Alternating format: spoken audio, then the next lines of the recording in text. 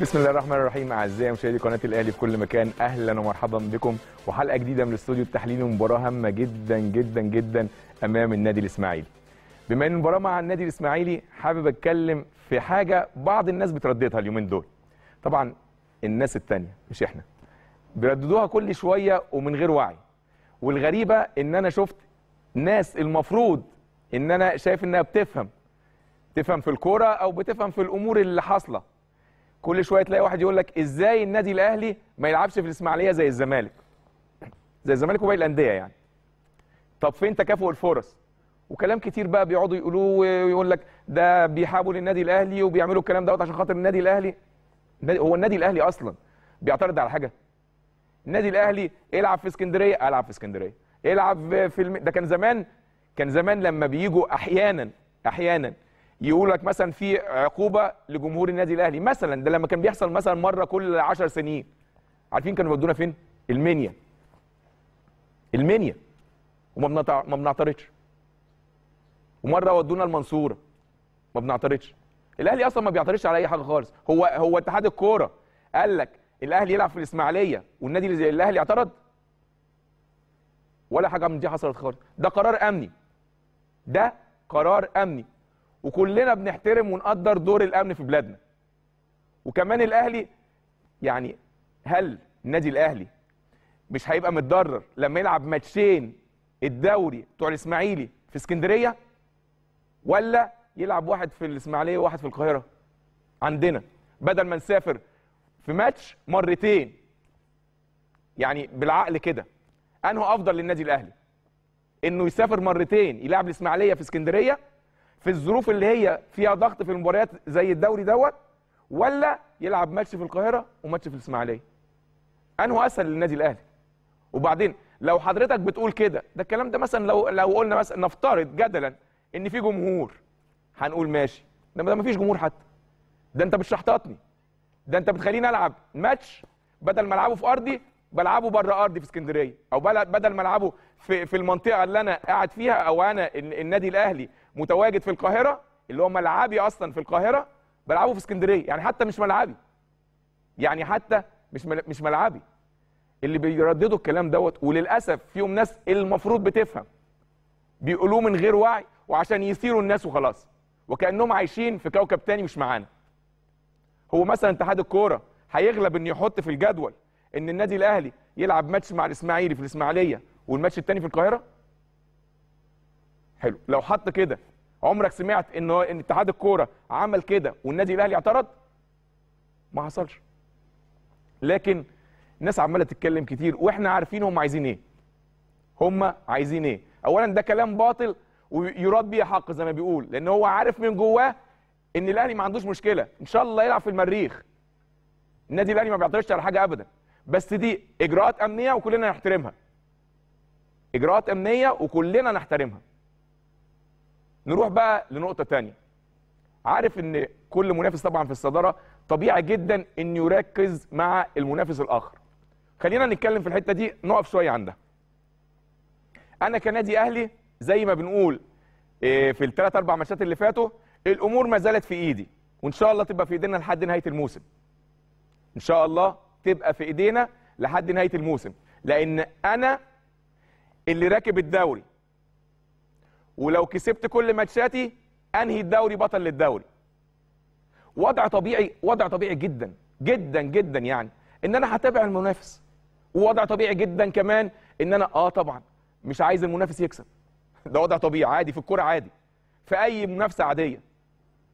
أنا بتابع آه ماتشات ال- الفريق المنافس. وببقى آه مش عايز الفريق المنافس طبعا يكسب. ده وضع طبيعي زي ما هو بيتابع ماتشاتي ومش عايز نكسب. ده وضع طبيعي. لكن لسه في إيدينا. لسه في إيدينا. عشان كده المرحلة دي المرحلة دي لعيبة النادي الأهلي مطلوب منها تركيز جامد جدا جدا جدا. وجمهور النادي الأهلي مطلوب منه إنه ورا الفريق زي ما عودنا دايما. زي ما عودنا دايما. آه بنركز أحيانا مع ماتشات المنافس. إنما خلينا نركز في ماتشاتنا أكتر. خلينا نركز ماتشاتنا أكتر لأن الأمور في إيدينا. ما زالت في إيدينا. لو كسبنا الماتشات المتبقية يبقى إحنا إن شاء الله كسبنا الدوري. وضع طبيعي عادي إن أنت هتبص على المنافس بتاعك. بس ما تركزش قوي على المنافس. لأن أنت لو ركزت على المنافس شوية زيادة هتفقد تركيزك. وده مش مطلوب الفترة ديت من لعيبة النادي الأهلي. لعيبة النادي الأهلي الفترة دي تركز في الملعب وبس. أنا عندي ثقة في لعيبة النادي الأهلي. الموقف ده حصل لنا كتير قوي قوي قوي على مدار الأجيال. انت تكسب الماتشات الجاية وقتها إن شاء الله بنحقق اللقب. بغض النظر عن نتائج أي فريق آخر. بغض النظر عن نتائج أي فريق آخر. عايز أعلق بقى تاني على موضوع ما كنتش حابب أتكلم فيه لأني مش عايز أتكلم إلا عن النادي الأهلي وماتشاته بس. لكن بصراحة يعني مش استفزني يعني استوقفني كده حديث لمستر باتريس كارتيرون اللي هو مدرب الفريق المنافس اللي هو نادي الزمالك. الراجل مش عارف هو عايز يعمل ضغط على النادي الأهلي ولا عايز يعمل ضغط على الفرق اللي هتقابل النادي الأهلي الفترة اللي جاية آه، اللي هي الفترة الحاسمة بقى اللي هم الخمس ست ماتشات الأخرانيين. قال لك إيه؟ قال لك تصريح غريب جدا. قال لك إن اتحاد الكورة قتل روح المنافسة وبالتالي ماتشات الأهلي اللي جاية ودية. ماتشات الأهلي اللي جاية ودية. طب نقف هنا ونتكلم عن اتحاد الكورة. اتحاد الكورة عمل إيه؟ أقول لكم أنا اتحاد الكورة عمل إيه. اتحاد الكورة حدد الفرق كان كان آخر كلام ده إمبارح. حدد الفرق اللي هتمثل مصر في بطولات أفريقيا. حدد الفرق اللي هتمثل مصر في بطولات أفريقيا. اللي هي النادي الأهلي نادي الزمالك وبناء على ماتشات ونادي المصري كان حسم ال- الأمر. وبناء على مباريات إمبارح كان مستني بس نادي الاتحاد مع نادي الزمالك. كان في نادي سموحة أول أمس ولكن فشل في الفوز فدخل بيراميدز. فقالوا الأربعة اللي داخلين إيه البطولات الأفريقية السنة الجاية أو الموسم الجاي. كويس؟ حلو. فهو قال لك نادي اتحاد الكورة عفوا اتحاد الكورة قتل المنافسة. ليه سعادتك قتل المنافسة؟ أنا عايز أعرف. وليه ماتشات النادي الأهلي اللي جاية ودية؟ قال لك أنا هلاعب ده مستر باتريس كارتيرون. قال لك أنا هلاعب الفرق اللي تحت اللي هي بتعاني وبتحارب وبتصارع على إنها البقاء اللي هي بتحاول تهرب من الهبوط. طيب حضرتك يعني هنتكلم هنتكلم باختصار وهنتكلم بكل احترام. حضرتك يا إما آه، بتتناسى أو نسيت أو بتحاول تصدر الضغط للفرق التانية وللنادي الأهلي. طيب حضرتك وانت قاعد مريح وده حقك. حضرتك وانت قاعد مريح وده حقك. نادي الأهلي لاعب الفرق دي اللي حضرتك بتقول عليها. فرق آه، بتصارع من أجل البقاء وماتشاتها في غاية الصعوبة وهتلاعب نادي الزمالك. نادي الأهلي لعبها في ظروف صعبة جدا جدا جدا. وحضرتك قاعد مريح وده حقك. ما بقولش إن ده ما كانش حقك. وده حقك بدون لعيبة المنتخب الأولمبي. بدون لعيبة المنتخب الأولمبي. لعبنا ال- الإنتاج الحربي. لعبنا الأول ال- البنك الأهلي. والإنتاج الحربي وأسوان ودجلة. هتقول لي هم ثلاثة بس لأن في دجلة كان لعيبة المنتخب الأولمبي رجعت. لعيبة المنتخب الأولمبي رجعوا يوم الأربع من اليابان اللي فرق بيننا وبينها ست ساعات في التوقيت وماتشنا إحنا كان الأربع. هم رجعوا الاثنين ماتشنا الأربع. فمستر موسيماني طبعا ما يقدرش يلعبهم ريحنا. يعني إحنا لاعبين أربع ماتشات في 10 أيام في 10 أيام بدون لعيبة المنتخب الأولمبي. انت مش هتلاعبهم في نفس الظروف دي. هل هل مستر باتريس كارتيرون مش متابع الدوري؟ دي تبقى مصيبة. ولو مش متابع الفريق الخصم اللي هو بينافسك أصلا فالمصيبة أكبر. المصيبة الأكتر إن هو بيقول لك إيه بقى؟ إن الماتشات الجاية للنادي الأهلي ماتشات ودية. وعلى وعلى ما أعتقد بقى نبص على جدول ال- الماتشات النادي الأهلي اللي جاية.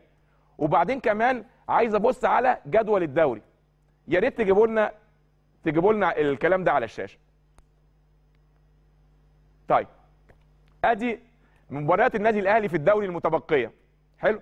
النهارده نادي الاسماعيلي. نادي الاسماعيلي بعيد جدا عن المربع الذهبي. ماشي؟ طيب. الاهلي وانبي في الجوله 30 يوم السبت 14 اغسطس. نادي انبي أصلا بعيد عن المربع الذهبي. طلائع الجيش والاهلي يوم الثلاث 17 اغسطس. أيضا طلائع الجيش بعيد عن المربع الذهبي. الاهلي والمصري الجمعة 20 اغسطس.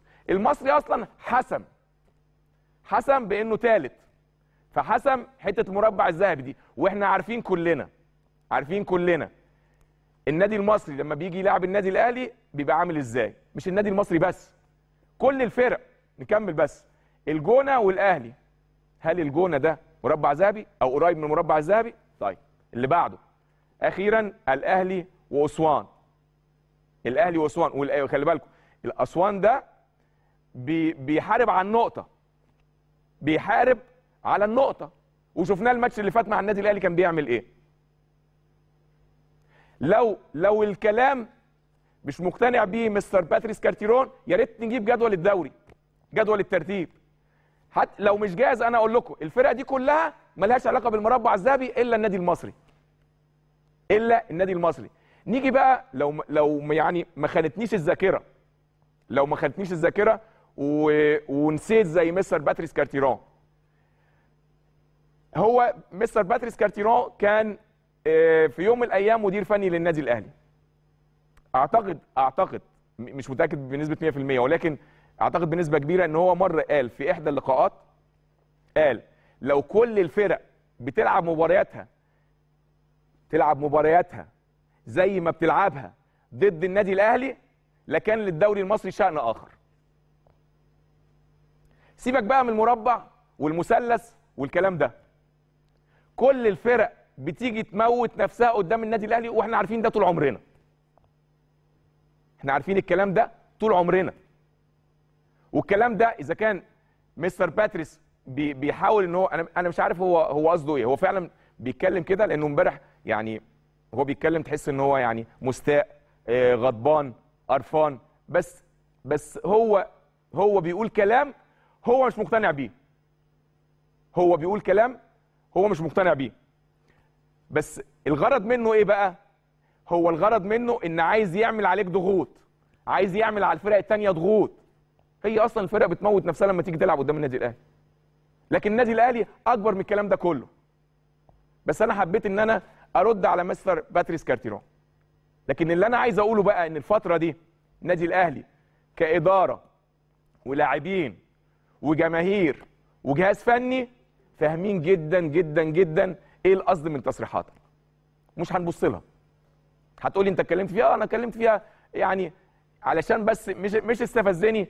أنا بس إن عايز أفكر مستر باتريس بإن الماتشات اللي جاية دي مش ماتشات ودية. وإن الكلام اللي هو بيقوله ده إحنا فاهمين غرضه إيه. النادي الأهلي بيعتمد على نفسه. وعلى فكرة النادي الأهلي مش هيهمه بقى آه، بطولة. وإحنا عندنا دولاب البطولات اتملى وجبنا دولاب تاني ودولاب تالت ومش مش البطولة هي اللي هتخلينا إن إحنا نتكلم كلام زي اللي بيتكلمه مستر باتريس أو الناس التانية. مع احترامي لكل الناس. النادي الأهلي عارف نفسه كويس عارف قدراته كويس.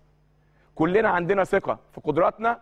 جمهور النادي الأهلي عنده ثقة في في قدرات لاعيبته في قدرات الجهاز الفني في قدرات المنظومة ككل. الكورة ما زالت في ملعبنا.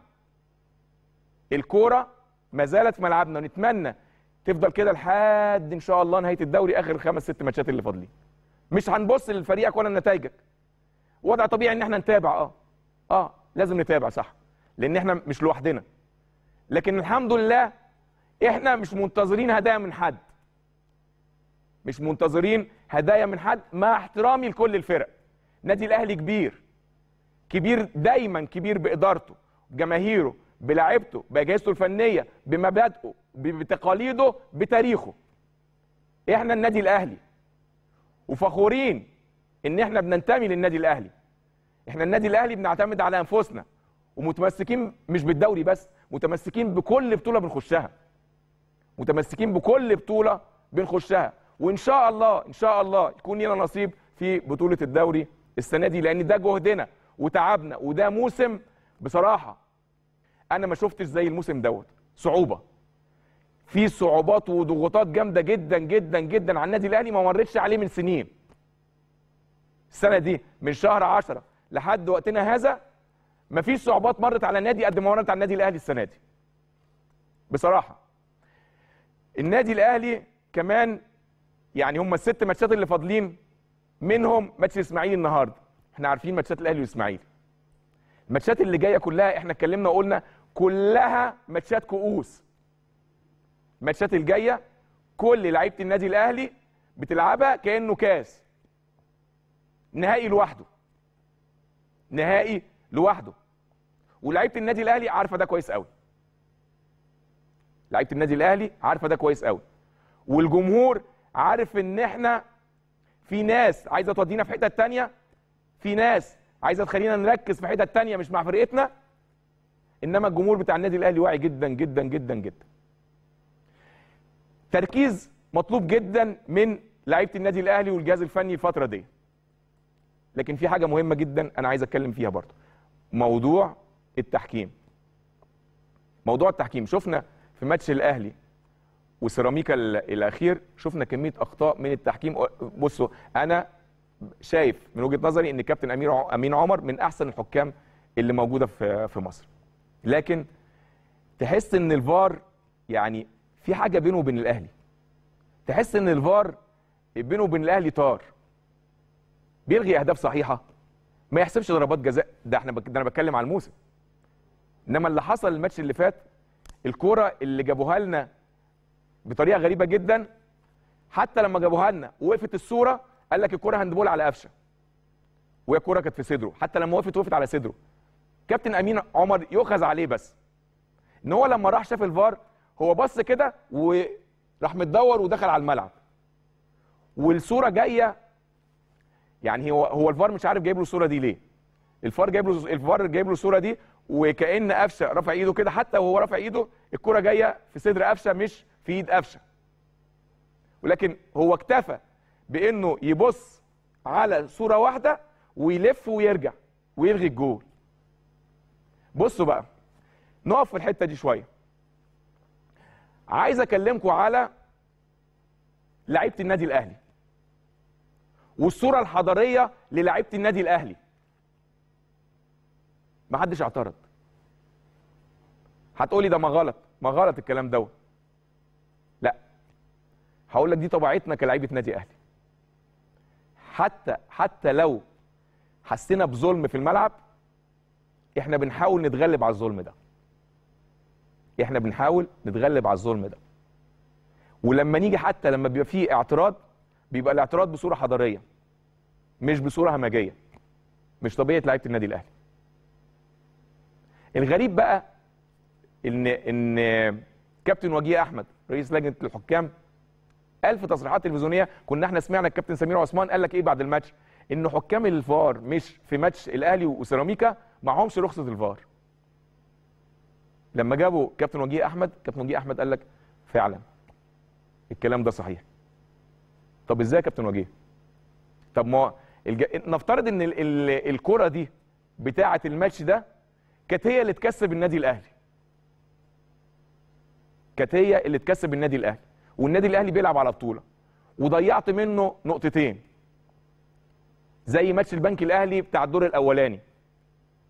زي ضربات الجزاء اللي ما اتحسبتش في أربع خمس ماتشات وضيعت من النادي الأهلي أكتر من 12 نقطة. ده مش مبرر لحاجة. أنا بس بقول على ال ال الطار اللي بين الأهلي والفار أو بين الفار والأهلي. ما حضرتك هنا خطأ واحد بس. خطأ واحد ممكن يكلفني بطولة. خطأ يكلفني بطولة. والغريبة إن الخطأ يعني عارفة لو الخطأ من الحكم؟ لا ده إحنا عندنا دلوقتي إمكانية إن إحنا نبص على الكاميرا ونشوف الكرة دي. تسلل ضربة جزاء فيها مشكلة ما فيهاش مشكلة وباخد وقتي. ده أحيانا وده ما بيحصلش في أي حتة في العالم. أحيانا بنشوف الفار بيتدخل ويقعد أربع خمس دقايق بيشوف الواقع. بيشوف الواقع. وفيها بعض الحاجات عن تسللات مع إن التسللات دي خطوط أفقية وبس. لكن إحنا في فترة دخلنا فيها في منطقة صعبة جدا منطقة حاسمة جدا. تحسم بطولة. تحسم بطولة. نتمنى من لجنة الحكام إن يكون هناك دقة في اختيار الحكام. خلي بالكم مش حكام ماتشات النادي الأهلي بس كل المباريات. إحنا زي ما شايفين صراع على القمة في صراع تحت في القاع. صراع فوق وصراع تحت. إحنا عايزين تركيز من التحكيم ومن الفار الفترة اللي جاية. الفترة اللي جاية فترة مهمة جدا جدا جدا. الفترة دي تكسبك بطولة أو تخسرك بطولة. تخليك في الدوري أو تنزلك درجة تانية. إحنا عموما كنادي أهلي بنحترم كل الحكام وعندنا ثقة كبيرة جدا جدا فيهم. لكن هم كمان عليهم دور كبير جدا. لازم نسبه التركيز تعلى الفترة اللي جاية. زيك زي اللعيب. أنت دلوقتي قاضي في الملعب. عايز تدي كل واحد حقه. يبقى أنا أعمل اللي عليا في الملعب وأركز زي زي اللعيب لأن الفترة دي مش محتاجة أخطاء. ماتش النهارده مع نادي الإسماعيلي. نادي الإسماعيلي فرقة من فرق الكبيره وماتشات الأهلي والإسماعيلي دايما بيبقى فيها كرة حلوة. لأن الفرقتين بيلعبوا لعب مفتوح. الفرقتين بيلعبوا كرة هجومية. الفرقتين عندهم لعيبة كويسة على أعلى مستوى. يمكن الفرق بين الأهلي والإسماعيلي معلش أنا ما لازم أتكلم الحقيقة قدامي. الفرق بين النادي الأهلي ونادي الاسماعيلي الفترة دي النادي الأهلي عندهم لعيبة كويسة وعندهم الطموح. وده اللي ينقص النادي الإسماعيلي. بجانب الإمكانيات المادية اللي هي أثرت معاه شوية في إنه يقدر يدعم بعض المراكز بعض المراكز. إنما لعيبة الإسماعيلي لعيبة كويسة على مستوى عالي ولكن ينقصهم الطموح. ماتشات الأهلي والإسماعيلي دايما كنا بنستناها من الدور الأول للدور الثاني. كنا بنستنى ماتش الإسماعيلي يعني بفارغ الصبر لأن فرقة بتلعب كورة حلوة قوي. فرقة بتسيب لك مساحات في الملعب. النهارده هتشوفوا مساحات كتير جدا في الملعب. مساحات فاضية مساحات تقدروا تلعبوا فيها كورة. الفرقتين على فكرة لأن الفرقتين أسلوب لعبهم هجومي. اللي بيكسب الماتشات دي اللي بيبقى معاه نسبة توفيق عالية ويقدر يستفيد من المساحات دي بإيجابية أكتر من الفريق الثاني الفريق الثاني طبعا ياخد باله من المساحات الفاضية. فهتلاقوا النهارده لعب مفتوح. الكابتن إيهاب جلال آه، النادي الإسماعيلي معاه قبل إيهاب جلال حاجة وبعد إيهاب جلال حاجة تانية خالص. النهارده هنشوف مباراة مفتوحة من البداية. حتى آه، الكابتن إيهاب جلال فلسفته آه، زي يمكن يعني مستر موسيماني يفضل يلعب بيهاجم على طول. ال ال النادي الإسماعيلي بيلعب على طول لعب مفتوح. فهنشوف إن شاء الله كرة حلوة. بإذن الله هنشوف كرة حلوة وهنتكلم في النقاط الفنية دي مع نجومنا الكبار اللي هيشرفونا النهارده. تعالوا نروح دلوقتي لزميلنا فاروق صلاح إيه، إيه، مراسل قناة الأهلي. من فندق الإقامة ونتعرف منه على آخر أجواء الفريق قبل الذهاب إلى ملعب المباراة. كل التحية للكابتن أيمن شوقي وكل التحية لكل مشاهدينا مشاهدي ومتابعي شاشة قناة النادي الأهلي في كل مكان من هنا من الإسكندرية وجولة جديدة من جولات الدوري المصري مباراة الأسبوع التاسع والعشرين المباراة اللي بتجمع ما بين النادي الأهلي والنادي الإسماعيلي على استاد الإسكندرية. خليني أقول لك يا كابتن أيمن مظاهرة حب هنا موجودة في فندق إقامة فريق النادي الأهلي من جانب جماهير النادي الأهلي اللي بتلتف حول فندق الإقامة. الجميع بينادي بيوجه رسائل للاعبي النادي الأهلي جميع أجمع على رسالة واحدة الدوري أهلي الدوري يا أهلي ده يعني مظاهره الحب اللي دايما مع- معتادين عليها هنا في الإسكندرية من جانب جماهير ال- ال- النادي الأهلي اللي يعني بتملأ محيط الفندق الإقامة بأعداد غفيرة. لو نتكلم على كواليس اليوم ال- النهارده يعني منذ لحظات كانت انتهت المحاضرة الفنية لمستر بيتسو موسيماني. طبعا المحاضرة الفنية بي يعني بينبه على اللاعبين وبيركز مع اللاعبين على آخر التعليمات ومن خلالها بيعلن التشكيل اللي هيخوض به هذا اللقاء. طبعا مستر بيتسو موسيماني أكد على اللاعبين على أهمية هذه ال- المباراة وعدم النظر لنتائج الفريق أو المنافس نادي الزمالك. التركيز فقط في مباريات النادي الأهلي. وقال للاعبين أنا يا ريت ترفعوا الضغوط عن عن نفسكم. ركزوا في الملعب فقط. ركزوا في الس- الست مباريات اللي بادئه من مباراة الإسماعيلي أنا بثق فيكم. بثق في اي 11 لا- لاعب في الملعب. أيضا الدور اللي بيقوم بيه الكابتن سيد عبد الحفيظ والإعداد النفسي للاعبين والكابتن سامي قمصان. عايز أقول لك النهارده حالة التركيز اللي عند اللاعبين اللعيبة النهارده حماس شديد عند لعيبة النادي الأهلي. إن شاء الله أي 11 لاعب هيكون موجود داخل أرض الملعب. إن شاء شاء الله هيكون قادر على تحقيق الانتصار. أيضا من النقاط المهمة اللي اتكلم فيها بيتسو مستر بيتسو موسيماني والكابتن سيد عبد الحفيظ مع اللاعبين عدم الالتفات لأي أمور تدار أو تقال في وسائل الإعلام أو ال social media عن الصفقات أو الانتقالات اللي إحنا لسه في مرحلة مهمة جدا مرحلة الحسم مطلوب من كل لاعبين التركيز في هذه المرحلة. طبعا خلال لحظات هيكون تحرك الفريق إلى ملعب المباراة اللي هيستضيف استاد الإسكندرية اللي بيبعد عن مقر اقامه فريق النادي الأهلي يعني من 15 ل 20 دقيقة. النهارده مستر بيتسو موسيماني يعني اجتماعات مستمرة ما بينه وما بين أفراد الجهاز الفني مع كيفن جونسون وأيضا محلل الأداء يوشا وموسي طبعا كل النقاط كل نقطة كبيرة وصغيرة وقف على نقاط القوة والضعف في نادي الإسماعيلي. إدى تعليماته للاعبين من الجدير بالذكر. أيضا يا كابتن أيمن النادي الإسماعيلي بيقيم في نفس الفندق اللي بيقيم بيقيم فيه النادي الأهلي. إن شاء الله كل التوفيق لفريق النادي الأهلي في هذا اللقاء ويضيف لرصيده ثلاث نقاط مهمة جدا إن شاء الله في مشوار الحفاظ على درع الدوري. من جديد تعود الكلمة للكابتن أيمن شوقي. شكرا جزيلا زميلي العزيز فاروق صلاح واطمنا منه على أحوال النادي الأهلي قبل المباراة. وزي ما قال فعلا اللعيبة كلها مركزة ومستر موسيماني قال لهم ركزوا في الملعب. ما تركزوش مع الخصم وخلينا إحنا في ماتشاتنا. نكسب ماتشاتنا إن شاء الله ناخد الدوري. نروح لفاصل وبعد الفاصل نرجع للتحليل الفني مع نجومنا الكبار. كابتن شريف عبد المنعم كابتن علاء ميوب كابتن أسامة عرابي والكابتن عادل عبد الرحمن أرجوكم انتظرونا.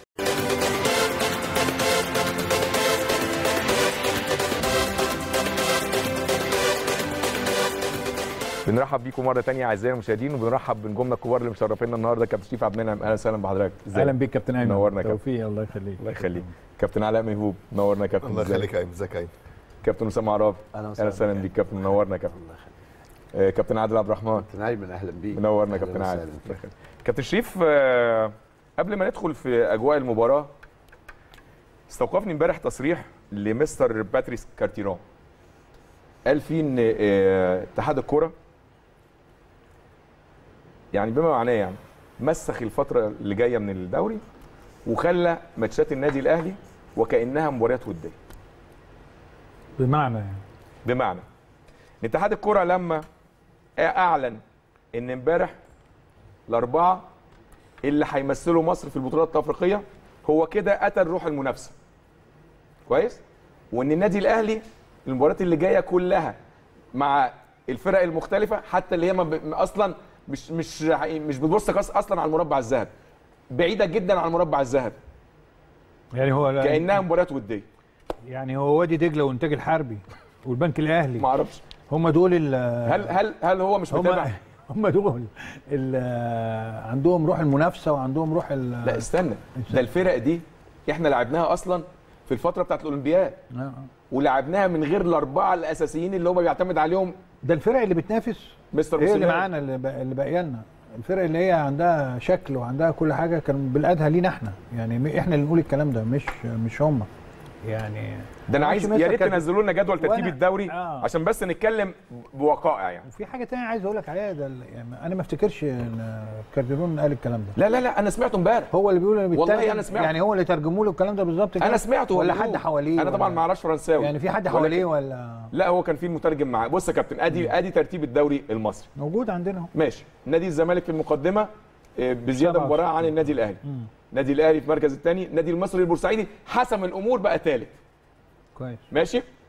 والنادي المصري إحنا معانا معاه مباراة ولكن هو حسم الأمور وإحنا عارفين ماتشات المصري والأهلي أو ماتشات الفرق كلها ضد النادي الأهلي بيبقى شكلها إيه بيراميدز مركز رابع ما عندناش بيراميدز.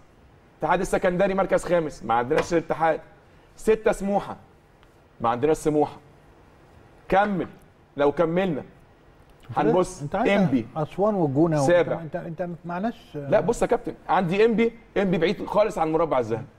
طلائع الجيش ثامن بعيد عن مربع الذهب. عشان كده بقول لك في حد عندي الجونه بعيد عن مربع في الذهب. حد مدي الكارديرون حاجة غلط؟ لا. معلومة غلط إنه يتكلم فيها. لا يا كابتن إزاي؟ يعني- أنا بقول لك أنا سامعه. آه، لا يعني حد هل هو هل فاهمني أنا بقول لك إيه؟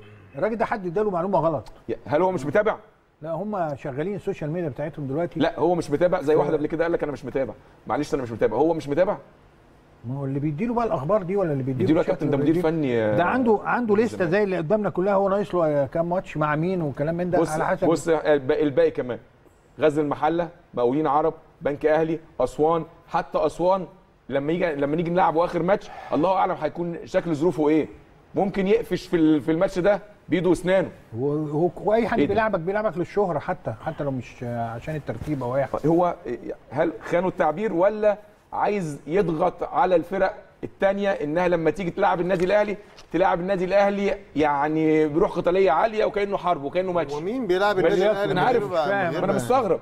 يعني- أنا مستغرب. ما- يعني مين بيلعب النادي الأهلي كأنه ماتش دي فعلاً. مباراه مثلا نهائي نهائي بالنسبة له هو. كل مباراه كل الفرق كده. كل الفرق كده ومش السنة دي بس الراجل ده ورطوه أكيد لازم- حد ورطه عشان يمشوا في نفس النغمة اللي هي شغالة دلوقتي هو. تصريح غريبة يا كابتن شريف شوية. بكل الوجوه يا علاء عايزين هو- عايزين يكلموا معاك في أي حاجة ينطوا هنا في أي حتة يتكلموا مش عارف هناك هو لا هو يعمل لك شوشره هقول لك حاجة هو- شوشره شوشره مالهاش هو. لو يعني يعني قال التصريح زي ما أنت بتقول يا ايمن كده زي ما أنت سمعته هو بيضغط بيعمل ضغط على الفرق الثانية بمعنى إن هو أنا لو متحمس شوية لأ أنا عايز أثبت لك كمان إن أنا لأ أنا مش الكلام اللي أنت بتقوله ده غلط. مفيش حاجة اسمها مباريات آه، ودية. ما ده الوضع الطبيعي لكل الفرق اللي بتلعب النادي الأهلي. ما هو ده الطبيعي. هو بقى عايز يبقى فوق الطبيعي كمان. يعني هو عايز كمان يعمل ضغط زيادة. بص يا كابتن ادي ماتشات النادي الأهلي. أيوه ما أنا عارف ما أنا فاهم أيمن. الأهلي وإم بي أهلي يعني طلع الجيش أهلي مصري جون أهلي أهلي أسوان. يعني أنا بس عايز يفتكر ماتشات خارجية الفرقة دي. يعني. أساسا كل الفرقة دي كلها مع النادي الأهلي بتبقى حسبة تانية خالص. طبعا.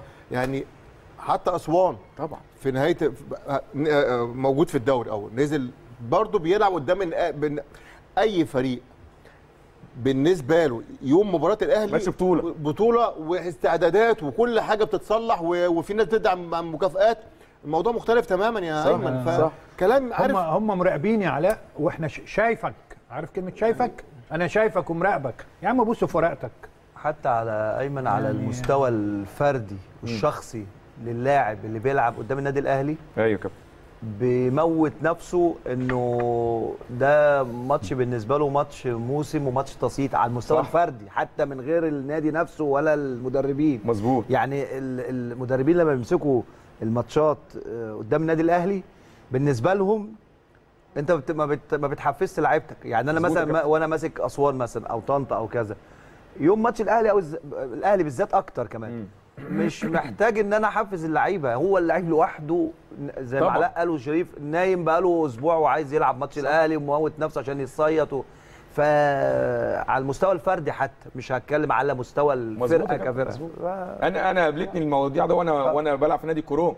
آه. يعني ما- ماتش النادي الأهلي بالنسبة لي حلم. طبعا. بالنسبة لي إن أنا عايز أس... مش اسوق نفسي عايز أموت نفسي. ماتش زي ده. بالنسبة لأي حد يا أيمن مباراة الأهلي حاجة لوحدها. طبعا. ده مش من مش من عشان بس مش من الأيام دي من زمان. من زمان. وإحنا جه صغيرين. أيمن جه النادي الأهلي عن طريق مباراة الأهلي والكروت آه. أنا فاكر اللي هو يعني يعني 5 2 ولا لما جبت جول في دماغي وكان الكابتن إكرامي. كنت أنا وزكريا جايبين قبل كده فيك خمس اجوان أنا دي مش فاكرها قوي بس أنا فاكر الجول اللي أنا جبته. اتفضل يا علاء. اتفضل يا كابتن. بس فالموضوع ده مش عايزين نرغي فيه كتير لأني لو سألت أي حد في الدوري الممتاز كله إيه المباراة مستنيه يقول لك مباراة الأهلي. ما- أنا بص أنا ما استفزنيش تصريح بس أنا استوقفني التصريح. أيوه يعني فاهم؟ يعني ماشي. استو يعني يعني عدى عليه كده مرور الكرام لأن عارف في حاجات يا أيمن والله بتكلم التعليق عليها آه يعني هو غرضه إيه يا كابتن؟ يعني مثلا غرض- بيستثير الفرق الثانية بس مثلا؟ هي دي. خليني بقى أعلق لك أنا عليه اتفضل يا أبو كباتن بمنتهى البساطة. ماشي. بص يا كابتن. اتفضل. هو عارف الجمهور بيحب إيه في نادي الزمالك. من الآخر. مم. يعني بيعمل إيه؟ اللي هو اولا بيعمل شماعة عليهم الأول. بيسبق. أوكي؟ بص مش ع... يعني مش عايزين لا خليني خليني بس أكملك. مش لا إيه خليني. اكمل لك أنا كارديرون أعرفه كويس. طب اتفضل. ده راجل اولا ده مدرب أحمال وليس مدرب. إحنا مش عايزين ن... يا كابتن أنا دي يا بكلمك. كابتن إحنا يا بنتكلم. كابتن أنا بكلمك. أنا أنا بكلمك. أنا عارفه أنا لعبته كتير. إحنا اسمعني. بنتكلم على آه، أفهمك. لقطة ليه أنا افهمك ده. ده شغل مدرب أحمال وليس مدرب. ليه. هقول لك أثبت لك إن هو مدرب أحمال ومش مدرب. هو فعلا كده. مفيش مدرب في العالم ما عندوش جهاز. أيوه كابتن أنت عارف كده؟ جه كل أندية اللي جه ما معهوش مساعد مدرب فرنسي لأن ما حدش بيشتغل معاه لأن هو مدرب أحمال. مفيش حد بيبقى ليه مساعد فني. محدش بيشتغل معاه. أيوه الناس بس اللي مش عارفة أنا لعبته هناك في السعودية. مرتين ثلاثة و... وأنا أعرفه كويس. هو مدرب احمال عنده من الفكرة إنه في الوقت الحالي اللي يجابه النادي الأهلي بالكلام بره الجمهور بيحبه. أيوه اللي يقول للنادي الأهلي إنه الفرق اللي هتلعبه يسيبوا الجمهور بيصدقوا فهم ده الفكرة اللي بيعملوها. خلي بالك ده بيبقى ساعات فلسفة بعض المدربين. لا هم هو فيها بص المنظومة كلها بتعتمد على دي يا كابتن أيمن.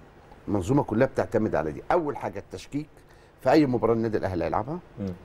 وأنت عارف تشكيك في البطولة لما تكسب بطولة يعني بطولة أفريقيا بطولة ضعيفة جدا لازم تتقال. بطولة الدوري لو في منافسة تبقى بطولة قوية. أيوه أول ما النادي الأهلي يفرق ست سبع أسابيع يبقى إيه ده؟ بطولة الدوري ده ما فيهاش منافسة خالص السنة دي وبطولة ضعيفة قوي الحاجات دي كلها. إحنا اتكلموا على الفرقة اللي وصلت final وبتلعبك على نهائي كأس أفريقيا بيقول لك عليها دي فرقة سيئة. أيوه طيب هم لو كانوا هم سيئين اللي خرجوا من الأدوار الأولى يبقوا إيه؟ انت فهمتني أنا عايز أقول لك كده. علشان كده أنا بقول لك بص ده أنا ده أنا على مسؤوليتي أنا لا مش. حاجات على المسؤوليه إحنا بنتكلم بص في حديث لا أنا بس. أنا أنا مش بتكلم على اي حد أنا بتكلم على اللي بيشكك في اي حاجة للنادي الاهلي. اولا لازم يعرفوا إن إن الفرق اللي بتلعب النادي الأهلي ده يوم عيد عندها طبعا لأن ده البورصة الحقيقية ليهم أيوه أي حد بيتشاف في النادي الأهلي. النادي الأهلي بيشوفه لا والأندية الأخرى صحيح. اللي هو بيلعب قدام النادي الأهلي وأدى الأداء كده يبقى لعيب جامد ولعيب كويس ده يا ريت لعيب بس ده كجهاز فني كمان خلي بالك ما طبعا يا آه. كابتن أي فرق أي جهاز فني بيكسب الأهلي بيقعد يشتغل في الدوري المصري ثلاث. سنين بدون ما بيحاسبوه أيوة. بيقول لك آه، ده كسب الأهلي ده كسب الأهلي فاللي أنا بقوله لك ده ده أنا أنا أنا, أنا كارترون لما يجي يتكلم في الأمر ده أنا عارف بيتكلم إزاي لأنه طول الوقت يعني كان بيتكلم كده أيوة. فرقة صغيرة تلعب وأنا بكلمك في الدوري السعودي فرقة صغيرة تلعب يقول لك آه، لما كان مع النصر الأول مش مع التعاون أيوة. هو راح مع النصر لعب 10 ماتشات معاهم في الدوري يمكن لعبت آه كان يقول لك على الفرقة الضعيفة ها دي فرقة قوية جدا أيوة. والفرق المنافسة اللي بتلعب ال- الناحية الثانية يقول لك ده طول عمرها آه يعني دي مش عارف هيسيبوا يعني الكلام اللي بيقوله آه أنا عارف ده سلوكه يعني فحبيت أيوة. بس أوصل لك معلومة أنا عارفها عنه يعني. ماشي يا كابتن. كابتن شريف ماتش النهارده مح- محطة مهمة جدا جدا جدا وخصوصا بعد فوز المنافس أمس. لابد من مواصلة الانتصارات للتربع على قمة الدوري مرة أخرى. طبيعي جدا. آه، لغة الست مباريات هي لغة الفوز. آه، ثلاث نقاط. خلاص يعني آه، بات الأمر إنك أنت اللي حاطط الموقف ده. كنت أنت سابق بحوالي أربع نقاط. تعادلت ماتشين بسبب أو من غير سبب آه، بفعل فاعل يعني هو ده الوضع اللي إحنا فيه ان إحنا ما عندناش آه، خيار غير ان إحنا نكسب كل المباريات. وان يتعثر المنافس أو ما يتعثرش انت بتبص دايما إحنا بنبص لشخصنا. لذا إحنا لازم يكون لينا آه، في كل الست مباريات اللي جايين ده شكل هجومي داخل الملعب بجميع الخطوط. أيوه. يمكن أنا بعد ما اتفرجت على مباراة امبارح وشفت الدنيا ماشية إزاي الفرقة ابتدت تتعب. الفرق ابتدت مش قادرة. الإجهاد باين الإجهاد باين عليهم آه، البدني. آه، التنفيذ بيبقى على فترات. يعني تلاقي الفرقة ريحت 10 دقائق كده وبعدين ابتدت تعمل غزوة أو تعمل هجمة أو تعمل جملة أو تعمل أي حاجة ومحاولات كلها واحدة وثابتة. أيوه. أنت بالنسبة لك الحمد لله الله أكبر على لعيبتك كلها عندك من الإمكانيات الفردية والشكل الانتشار في الملعب وال الأطراف اللي عندك اللي بتشتغل. في أي وقت أنت تقدر تشتغل يمين تقدر تشتغل شمال. إنما إحنا الفترة اللي جاية دي لازم وجودي في الملعب اللي هو أبقى أنا متحكم في زمام الأمور كلها. أيوه أنا ما بديش فرصة لأي خطأ ما بديش فرصة للتاخر في سبق التهديف. لازم أكون أنا في أول 10 دقائق في أول 7 8 دقائق ليا الوجود. لازم أدي الرسائل دايما للفريق المنافس نحبطه نفسيا. ما خلوش حتى يفكر ما يستلمش كورة براحته. أيوة. الضغوط اللي بتبقى عليهم في الملعب يبقى ضاغط ضاغط ضاغط ضاغط في كل حتة يخلي أي لعيب حتى بيحاول يعمل معاك أي فكرة أو أي شكل يقدر يحرز منه هدف أو يبقى له وجود. أنت لازم تكون عندك ال ال الشكل القوي. زي سيناريو بداية الماتش اللي فات.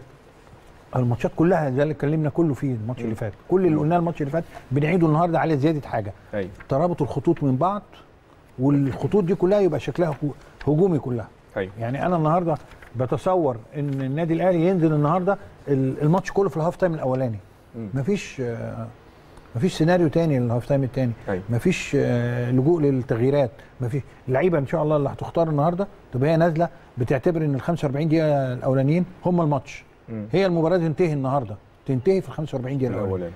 ما تخشش بقى في في أي سيناريوهات تانية. صحيح. فبالتوفيق بإذن الله النهارده. يا رب إن شاء الله. كابتن علاء آه، مباراة صعبة مع منافس قوي وعنيد ويمكن شفنا الماتش الأخير النادي الاسماعيلي وهو بيلعب مع بيراميدز ب 10 لاعبين إنما قدر يحقق التعادل في الثواني الأخيرة. وزي ما شفنا في تطور في مستوى الأداء للاعيبة الإسماعيلي من بعد ما مسك إيهاب جلال. في تطور إن في استقرار خلاص. مم. في الاستقرار التطور ده حصل ما في استقرار. كل فترة بتاعت الاسماعيلي اللي فاتت ما فيش استقرار خالص صحيح. ولا في ولا في مجلس الإدارة ولا مدربين ولا بيتفقوا على مدرب. لما اتفقوا على إيهاب خلاص الناس كلها متقبلة آه، إيهاب جلال. واللعيبة كمان يا عم متقبلاه والراجل بدأ يشتغل وبدأت اللي يعني بدأت ال- البصمات تبان. بدأ يبقى في انسجام بقى في تحس إن في فريق شبه يعني شكل فريق إسماعيلي. آه طبعا مش الإسماعيلي في أحسن أوقاته لكن تحس إن مش مش ده الإسماعيلي اللي بدأ بداية الصورة الموسم. والصورة اتغيرت خالص طبعا. طموحات اتغيرت تحس بقى في شكل في في أداء موجود في الملعب في ترابط في فريق. أيوه. قبل كده بس هي المشكلة إن مشاكلك بتاعت الإدارة بتنعكس عليك. كفريق كره يعني على طول وأنت ما ينفعش ما تنفعش تفصل. صحيح. نادر جدا لما تفصل بين دي ومن دي. عشان كده إحنا دايما بنتكلم بنقول اللي بنضرب بيه المثل دايما في الحتة دي بنقول النادي الأهلي. اداريا آه، مظبوط. مظبوط. فخلاص بعد الإدارة خلاص كل حاجة بتيجي بعد كده. لكن عندك مشكلة في إدارية حتى الحتة الفنية ممكن هتلاقي فيها ملخبطة. فالنهاردة لا النهارده منافس قوي أكيد هيأدي أداء قوي جدا قدام النادي الأهلي. يعني مباراه الاسماعيلي والأهلي لوحدها دوافع جامدة جدا زي ما قال كابتن شريف وقال أسامة وكده وكان عادل بيتكلم في الموضوع ده. فمباراه الأهلي والإسماعيلي كمان من زمان الزمان وهي حاجة اللي ليها خصوصياتها. خصوصياتها الأهلي والإسماعيلي. النهارده الموضوع بيختلف. أنا يعني من وجهة نظري إن النادي الأهلي أنا مش دعوة منافس. صح. أنا عندي مباريات أكسبها هاخد الدوري. بس على كده. ده هدف اللي أنا بفكر فيه. المنافس يكسب يتعثر يتع... أي حاجة لا. أنا النهارده بفكر زي المباراة السابقة. بفكر في ثلاث نقاط خلصتها. بفكر النهارده في الإسماعيلي كل الاحترام والتقدير للاسماعيلي لكن أنا بلعب على هدف أسمى بكتير قوي. ثلاث نقاط النهارده ونخلص. أه المباريات بتختلف من فريق لفريق لكن الحاجة اللي ما تختلفش أنت آه. تفكيرك أنت أدائك أنت آه، رغبتك في الفوز رغبتك في من بداية المباراه أنا عايز أكسب أنا هكسب النهارده. أنا ما عنديش آه، ما عنديش رفاهية إن أنا أضيع آه، نقاط النهارده. طبعا. النهارده لا أنا النهارده من البداية كده زي ما كان شيف كان بيتكلم بتوصل كده على طول. ما هو اللعيب بيحس في الملعب إن النهارده إن شاء الله 90 دقيقة مش هيعدي غير لما نكون مخلص المباراة بثلاث نقاط. هو صحيح. ده الدوافع اللي النادي الأهلي يشتغل بيها بس. المنافس إسماعيلي مصري كل الاحترام ليهم. لكن أنا ما ببصش على الاسم أيمن. إيه، أنا م- مظبوط أنا يعني مظبوط. أنا ما ببصش مثلا آه، سيراميكا. ماشي. لكن أنا بركز على سيراميكا. أنا بركز أنا عايز أكسب النهارده. صح. الإسماعيلي. ماشي. كل احترام ليه و... و... ونادي كبير وعريق. لكن أنا بلعب على حاجة ثلاث نقاط. المباراة اللي جاية. ما مش هبص على الاسم. لأن أنا عندي هدف. آه الفترة مضغوطة جدا ومحتاجة شغل كتير جدا جدا جدا وشغل مع كل مدير فني مع لعيبة مع كله يشتغل كتلة واحدة. لأن الهدف الهدف واحد. أنت فيك ميزة كويسة جدا اللي ياخد باله من أداء النادي الأهلي. أنت ما شاء الله أنت بدنيا مميز جدا. مظبوط. عن كل فرق الدوري مميز. مظبوط فدي هتفيدك جدا في في الفترة دي. الفترة دي أيوه أنت محتاج كل لعيبة فنيا وبدنيا. ممكن تبقى فنيا هايل بس بدنيا مش قادر تأدي. واقع. واقع. انت النهارده الحمد لله فريق النادي الأهلي المستين عنده. فنيا طبعا ما شاء الله فنيات موجودة في لعيبة كتير في النادي الأهلي. بدنيا كمان تقدر تشتغل طول المباراه ما عندكش مشكلة. لأنك انت في اوقات بتضيع 45 دقيقة في الشوط الأول لكن لما بتحب تضغط وبتخلص الشوط الثاني بيحصل. عشان كده هي بالظبط يا ايمن آه، دايما البداية. أيوة. إن- إن- انت عايز إيه؟ رغبتك إيه؟ شخصيتك الهجومية لازم تبان من أول ما الحكم بيصفر. هو ده بيفرق مع لعيبه النادي الأهلي. مظبوط. كابتن أسامة الكابتن علاء اتكلم عن الدوافع. دوافع بالنسبة للفرقتين. إحنا عارفين طبعا دوافع بالنسبة للنادي الأهلي ولاعيبة النادي الأهلي وجهازه الفني. أنت بتلعب على بطولة وكل جمهورك مستني البطوله دي بالرغم إن أنت إيه الحمد لله رب العالمين اخذت كل البطولات إنما ما بنشبعش بطولات. ال- النادي الإسماعيلي بقى الطرف الآخر من بعد ما تولى إيهاب جلال اتحسنت النتائج. في تطور بعض الشيء. هل ده خلق دوافع جديدة عند لعيبة النادي الإسماعيلي بالرغم إن هم ما بينافسوش ولا قريبين من الهبوط؟ مظبوط. آه، اولا إحنا قلنا ماتش أهلي. أهلي و... وأي فرقة اللعيبة كلها بتستنفر لوحدها حتى من غير المدربين. يعني اللعيب مستنفر لوحده وبيبقى عنده دوافع شخصية آه، إنه بيلعب مع البطل فبيطلع أقصى ما عنده. وبيستنى الماتش ده يمكن آه، قلنا المصابين بيحاولوا يخفوا اللي عنده مشكلة بيجي وممكن يريح بعديها ماتش أو ماتشين بعد ماتش الأهلي. دي نقطة، النقطة الثانية إسماعيلي، إسماعيلي آه، فريق كبير وليه تاريخ كبير في مصر. وهو كان رقم ثلاثة على طول بعد الأهلي والزمالك مع مع مع مع ال- أو في المنافسة على ال- الشكل العام. مش صحيح ما بياخدش دوري أو كده أو أو كانت عدد مرات قليلة. آه، لكنه كان المنافس اللي هو على طول موجود مع ال- الأهلي والزمالك. يمكن بعد السنين الأخيرة شوية دخل بيراميدز ودخل آه، إنبي ودخل فرق أخرى المصري أحيانا.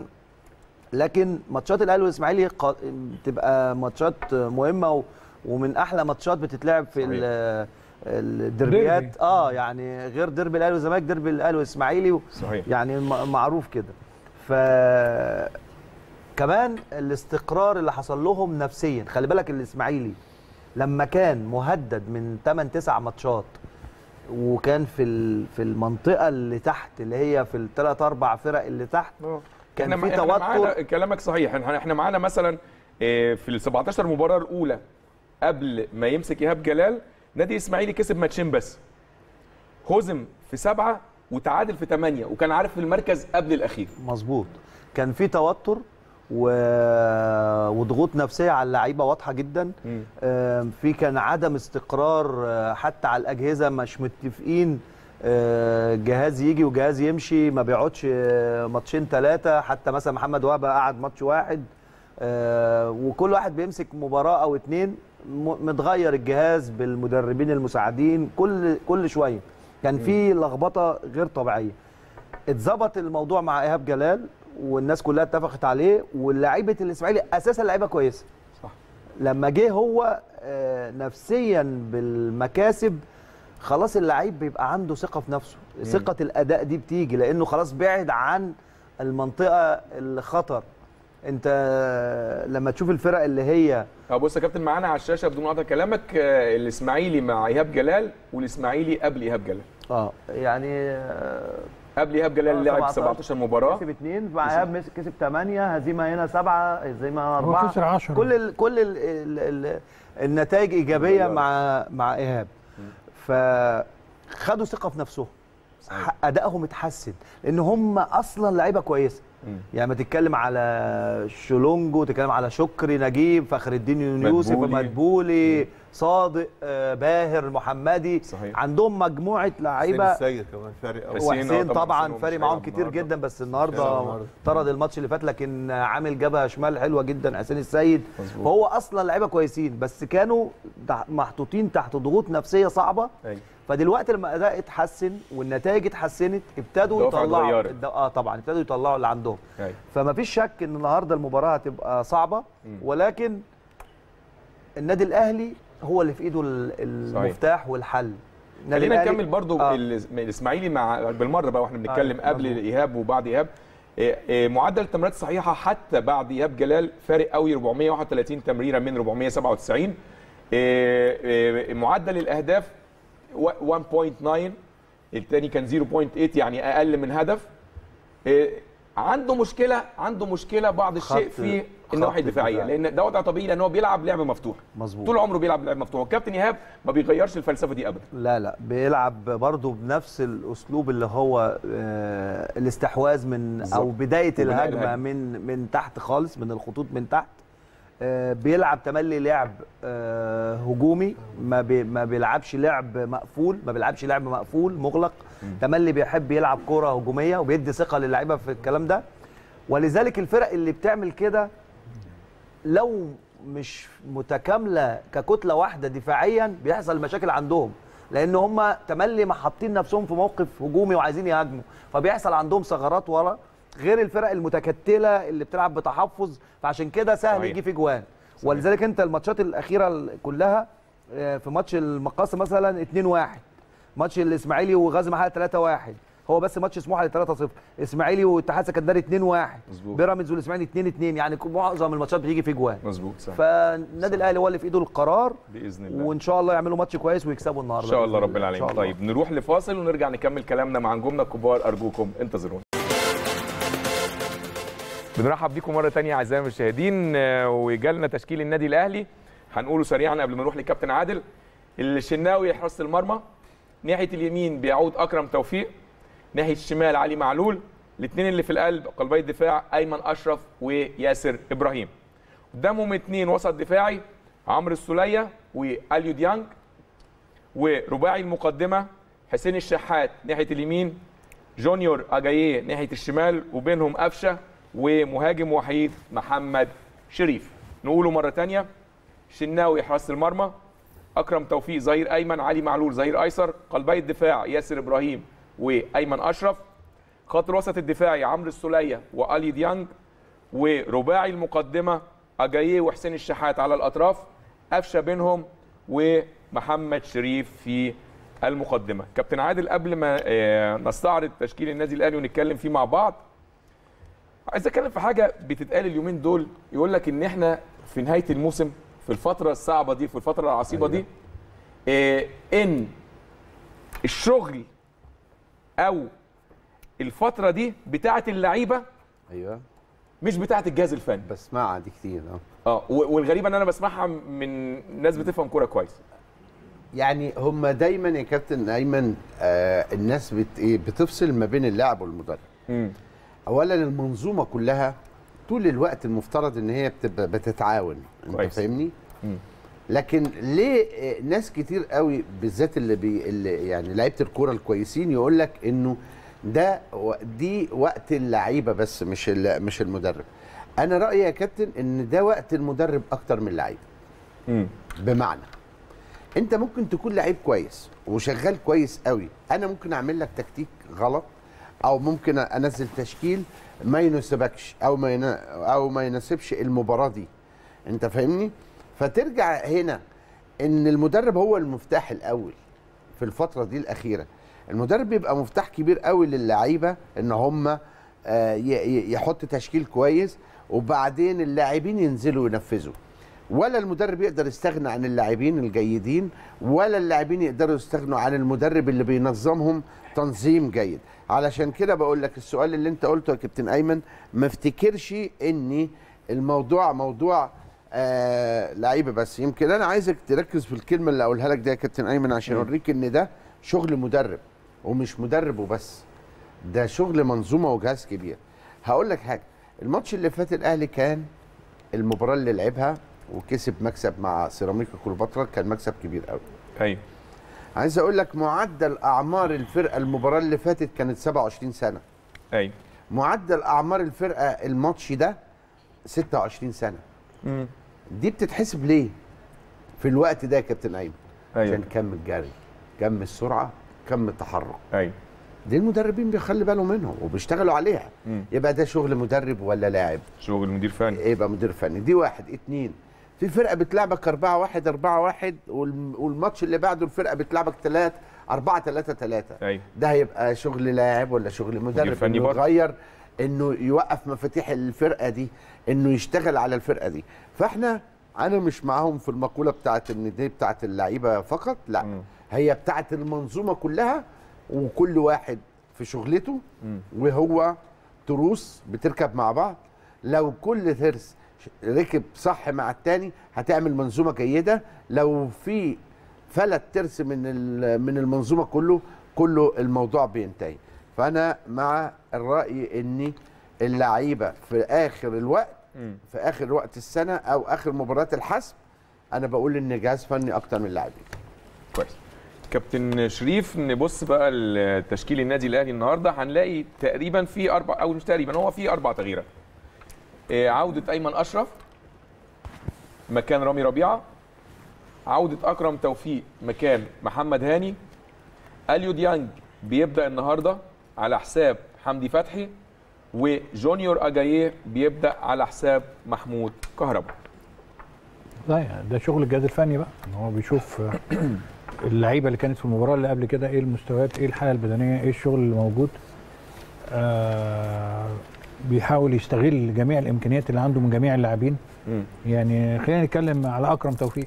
أكرم توفيق عامل مباراة جيدة جدا في آخر آه، كام ماتش كان قبل ما يطلع على طوكيو وعمل في طوكيو 3 كويس قوي. كويس. آه مع كل نوعية فريق انت بتلعبه الجهاز الفني بيحتاج لعيبة معينة. مش بمعنى إن يعني هل دي هل دي آه. ملهاش علاقة عودة أكرم توفيق؟ آه، ده تكملة. ملهاش ملهاش علاقة بتألق محمد هاني الماتش اللي فات. ده ملوش دعوة. ممكن محمد هاني يبقى خارج من اصابه وتألق وعمل امبارح. الماتش اللي فات شغل جامد جدا ممكن ياخد راحة النهارده يريح مم. عضلاته ويريح وفي نفس الوقت يبقى عنده دكة كويسة جدا في نفس المكان وفي نفس الشكل. أيوة. يعني ده أصل أنا على كمشاهد أو حسب شكل. كمتفرج أو آه، ال- بتسأل. ان آه بتساءل هسأل. محمد ليه؟ يعني كان ما ماشي كويس وعمل ماتش كويس. ماشي كويس. وفي نفس الوقت أكرم توفيق كان كويس كويس وماشي ما كويس وخد راحته برده بعد ما رجع من طوكيو. فده فكر آه، مدير فني. إحنا ما نقدرش نتدخل فيه زيه زي رامي ربيعة. رامي ربيعة لعب كام ماتش ورا بعض وايمن أشرف كان عايز يستريح شوية. رجع أيمن أشرف هو اللي بيلعب وكان مستوى أول هو اللي كان بيلعب في الوقت ده هو بنون صحيح. ولما بيبقى ما فيش أيمن أشرف وبنون بتبقى كتير. إنما لما يبقى في أيمن أشرف وياسر إبراهيم أعتقد الشكل كمان بيبقى فيه توازن أيوة. كبير جدا. صحيح. علي معلول آه، في وضعه الطبيعي بنفس الشكل. يجوز في لغة بين آه، جونيور أجوية وعلي وعلي. وعلي معلول. هو بي- بيحس إنها أقوى من في التعامل. يعني بيحس إن الكوبل ده الاثنين دول بيعملوا شغل كويس قوي ناحية الشمال. آه ديانج على حسب بقى اللي إحنا كنا بنتكلم فيه كلنا. أنا على- هتكلم فيه مع كابتن علاء فعلا. طيب يلا خش انت ماشي. كمل مع سوليه. وديانج عشان. خط النص كابتن علاء. إيه أنا عايز أتكلم على الثنائيات. يعني أحيانا نشوف السوليه وحمدي فتحي. أحيانا نشوف حمدي فتحي وديانج. واحيانا نشوف السوليه وديانج زي ماتش النهارده. قريت قبل كده تصريح فني. ما أعرفش إذا كان مستر آه، بيتسو موسماني هو اللي قال ولا لأ. بيقول لك مع الفرق اللي بتعمل استحواذ هو بيفضل تواجد ديانج الفرقه اللي بتعمل استحواذ لأن هو مميز جدا في القطع وبداية الهجمة. فهو بيفضل تواجد ديانج. في الفرق اللي بتلعب كرات طويلة هو بيفضل حمدي فتحي لأن هو بيقربه شوية من خط الدفاع ومميز في ضربات الرأس. هي وجهة نظر تحترم لو كان قالها دي دي حقيقة. إحنا قلنا حاجة هنا في الاستوديو يا أيمن. من. مميزات النادي الأهلي في الموسم ده إن الثلاثه الموجودين في قلب نص الملعب أي اتنين بيلعبوا بيأدوا المباراة زي ما مستر آه، موسيماني عايز. بغض النظر عن نوع أو عن المنافس بيلعب إزاي. لكن ديانج فعلا في حتة حتة الضغط وحتة التكملة وكده لا بتحس إن هو في في قوة. عندك في نص الملعب مميز جامد جدا.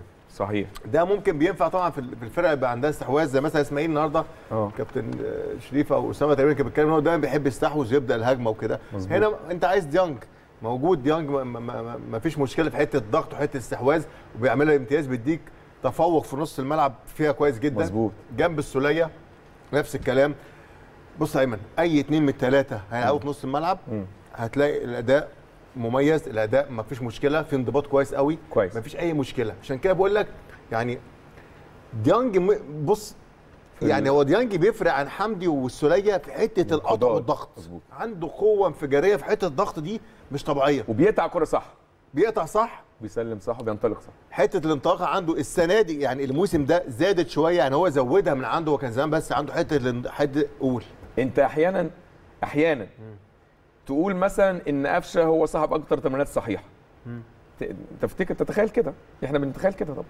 ولكن تخيل إن نسبة التمريرات الصحيحه عند ديانج 90% وإنه أكتر لاعب قام بتمريرات وتمريرات صحيحة 203 أيوه يا ايمن يعني ديانج ديانج بس هو المشكلة ديانج إن هو مش مش شايف زي محمد مجدي. آه. أنت فاهمني؟ يعني مثلا هو في نص الملعب ما تقدرش تستغنى عن واحد بيقطع وبي- وبيضغط كويس قوي ما بيستناش الكورة بيكمل كويس قوي. في نهاية المباراة تلاقي أكتر واحد بيجري هو آه بدنيا عالي جدا جدا. بص است... بص في نص الملعب أنت. مط... أنت مطمن. آه. يعني وجهة نظر موسيماني على فكرة في حتة الفرق اللي بتستحوذ وكده إن وجود ديانج فكرة أنا بحترمها جدا. أنت عايز حد من النوعيه دي؟ أيوه. عايز حد دايما بيضغط على اللعيب دايما حد يقطع دايما حد ال- ال- الخطوات القصيرة اللي في نص الملعب السريعة دي عند ديانج مميز بيها جدا كويس جدا يعني. وخصوصا مع الفرق اللي بتستحوذ. بالظبط هو بي بي آه. بي بيعملها كويس جدا بيرسل هجمات كويس قوي عنده الحتة دي كويسة جدا. يعني أول خطوتين يا أيمن لو بصيت على الثلاثه هتلاقي أسرع واحد في الثلاثه هو ديانج. عنده الخطوتين الأولين سرعه جدا حتة الانقضاض عنده عالية جدا. عشان كده بقول لك أنا نص الملعب ما بقلقش. نوع زي ما تحب. في وجود ديانج. في وجود ديانج وحمدي والسولية أنا ما عنديش مشكله في اي اثنين هي بص يا كابتن تمريراته ونسبة التمريرات الصحيحه واستخلاص الكرات التمريرات معانا على ال آه لا هو على الشاشة. بص ال- ال- الحسابات بتاع ديانج عالية الله. جدا هو ارقامه مميزة جدا. وبعدين من الأكتر لعيبه اللي في النادي الأهلي اللي حصل تطور في في, مستواه. خدتها من على لساني. معلش. لسه هقول لك بس اتطور مستواه. هو دي ما كانش كده. لا. لو محسوب علينا defender لا لا لا, لا. هو ب- هو انت تجيب بص يا أيمن هو الذكاء إن أنت تجيب لعيب شايف إن هو كويس. أه.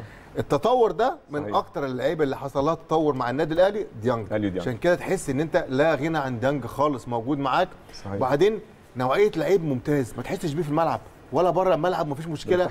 خالص أيوه. واحد بص ده والراجل بروفيشنال صح ده محترف. العب هأدي مش هلعب خلاص وجهة نظر المدرب أنا ما بتكلمش كل حاجة ماشية صح وبعدين كمان هو عارف هو فين هو هو حواليه مفيش حاجة اسمها مشاكل في النادي الأهلي. الناس كلها عارفة بتعمل إيه. مش حتة استقرار وحتة الهدوء اللي هو فيها دي.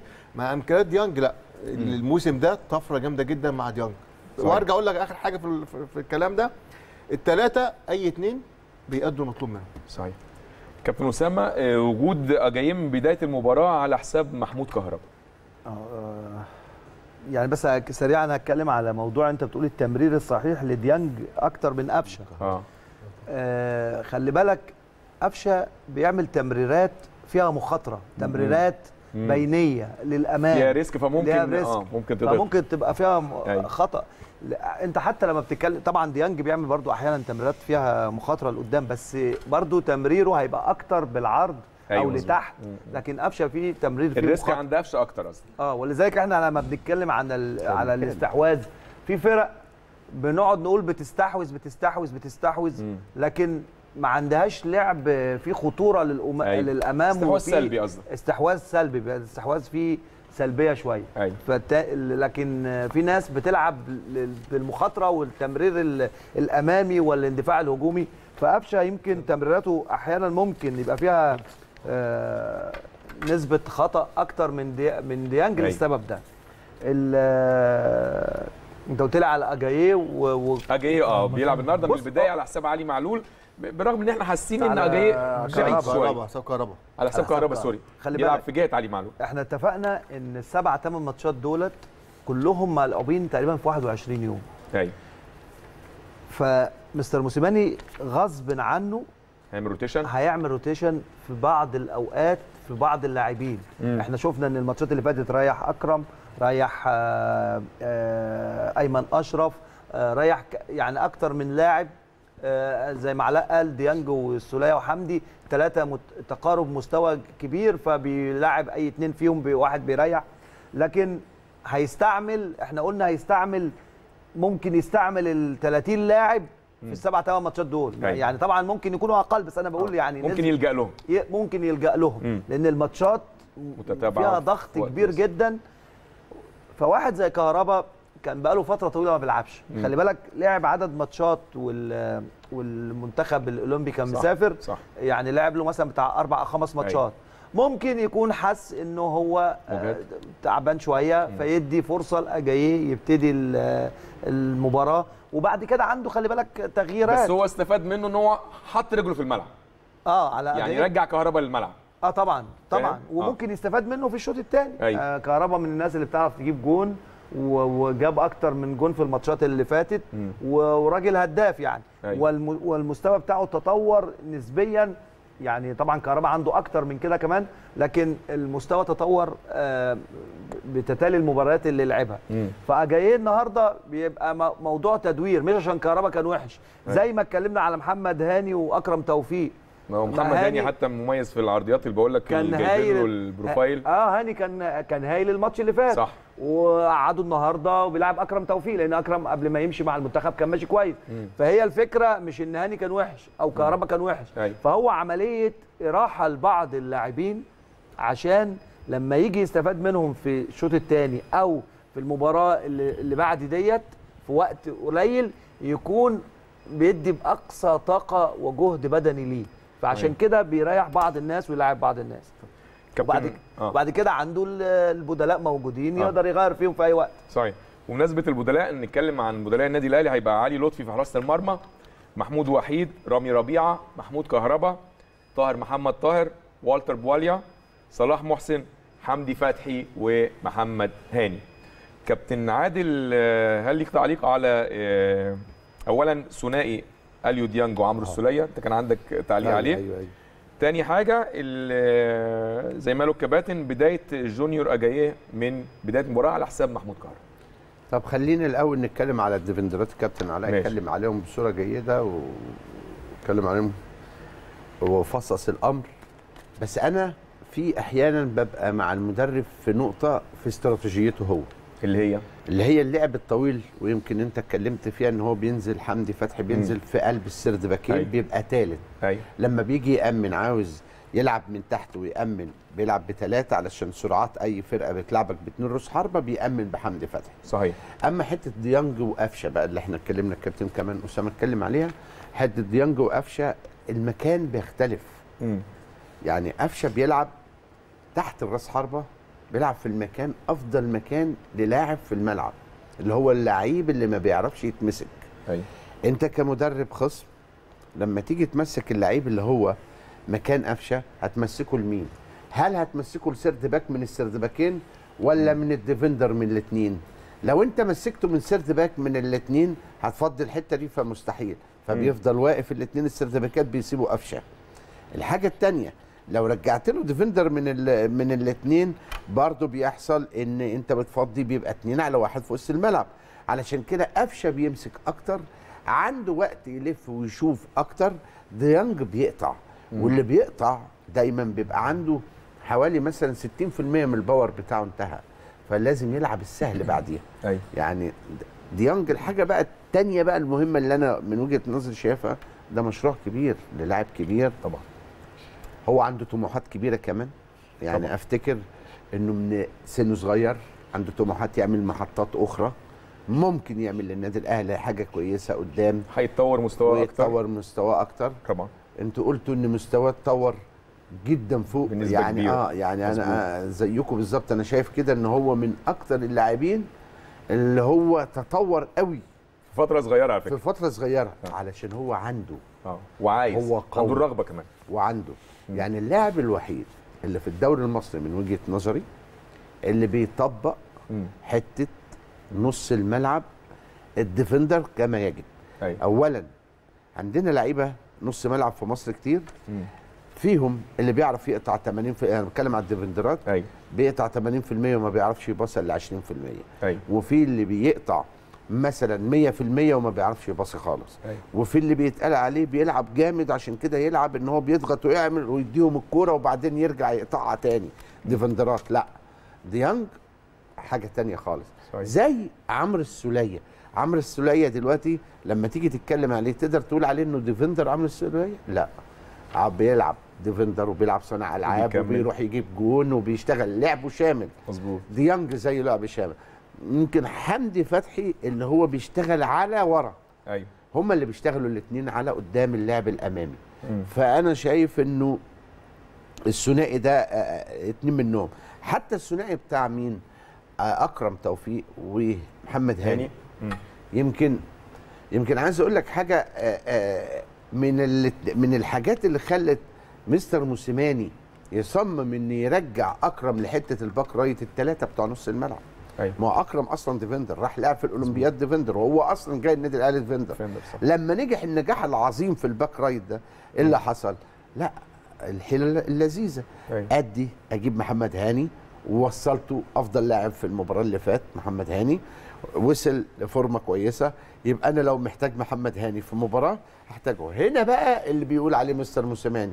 في فرق ممكن ما بتهاجمكش كويس. الطرف الطرف اللي هو الشمال لنادي الإسماعيلي آه، مميز عنده سرعات لا أنا. بقول لك دي وجهة نظر فنية أنا ما قلتش إن مستر موسيماني قالها ولا لا ولا أنا لا ما لازم. يعملها يا كابتن آه. ما هو لازم يعملها بص يا كابتن في أوقات أنت بيبقى عندك فرقة هتلاعبها الحتة الدفاعية بتاعتها أكتر آه. فأنت عايز back right يهاجم كتير طب بما إن بنتكلم على الفرق اللي بتلعبها بي- أو بيلعبها النادي الأهلي ممكن نقول تشكيل النادي الإسماعيلي ونرجع تاني كابتن اتفضل اتفضل. تشكيل النادي الإسماعيلي محمد فوزي لحراسه المرمى ناحية اليمين مصطفى الزناري ناحية الشمال محمد عادل الاثنين اللي في القلب مروان صحراوي وباهر محمدي.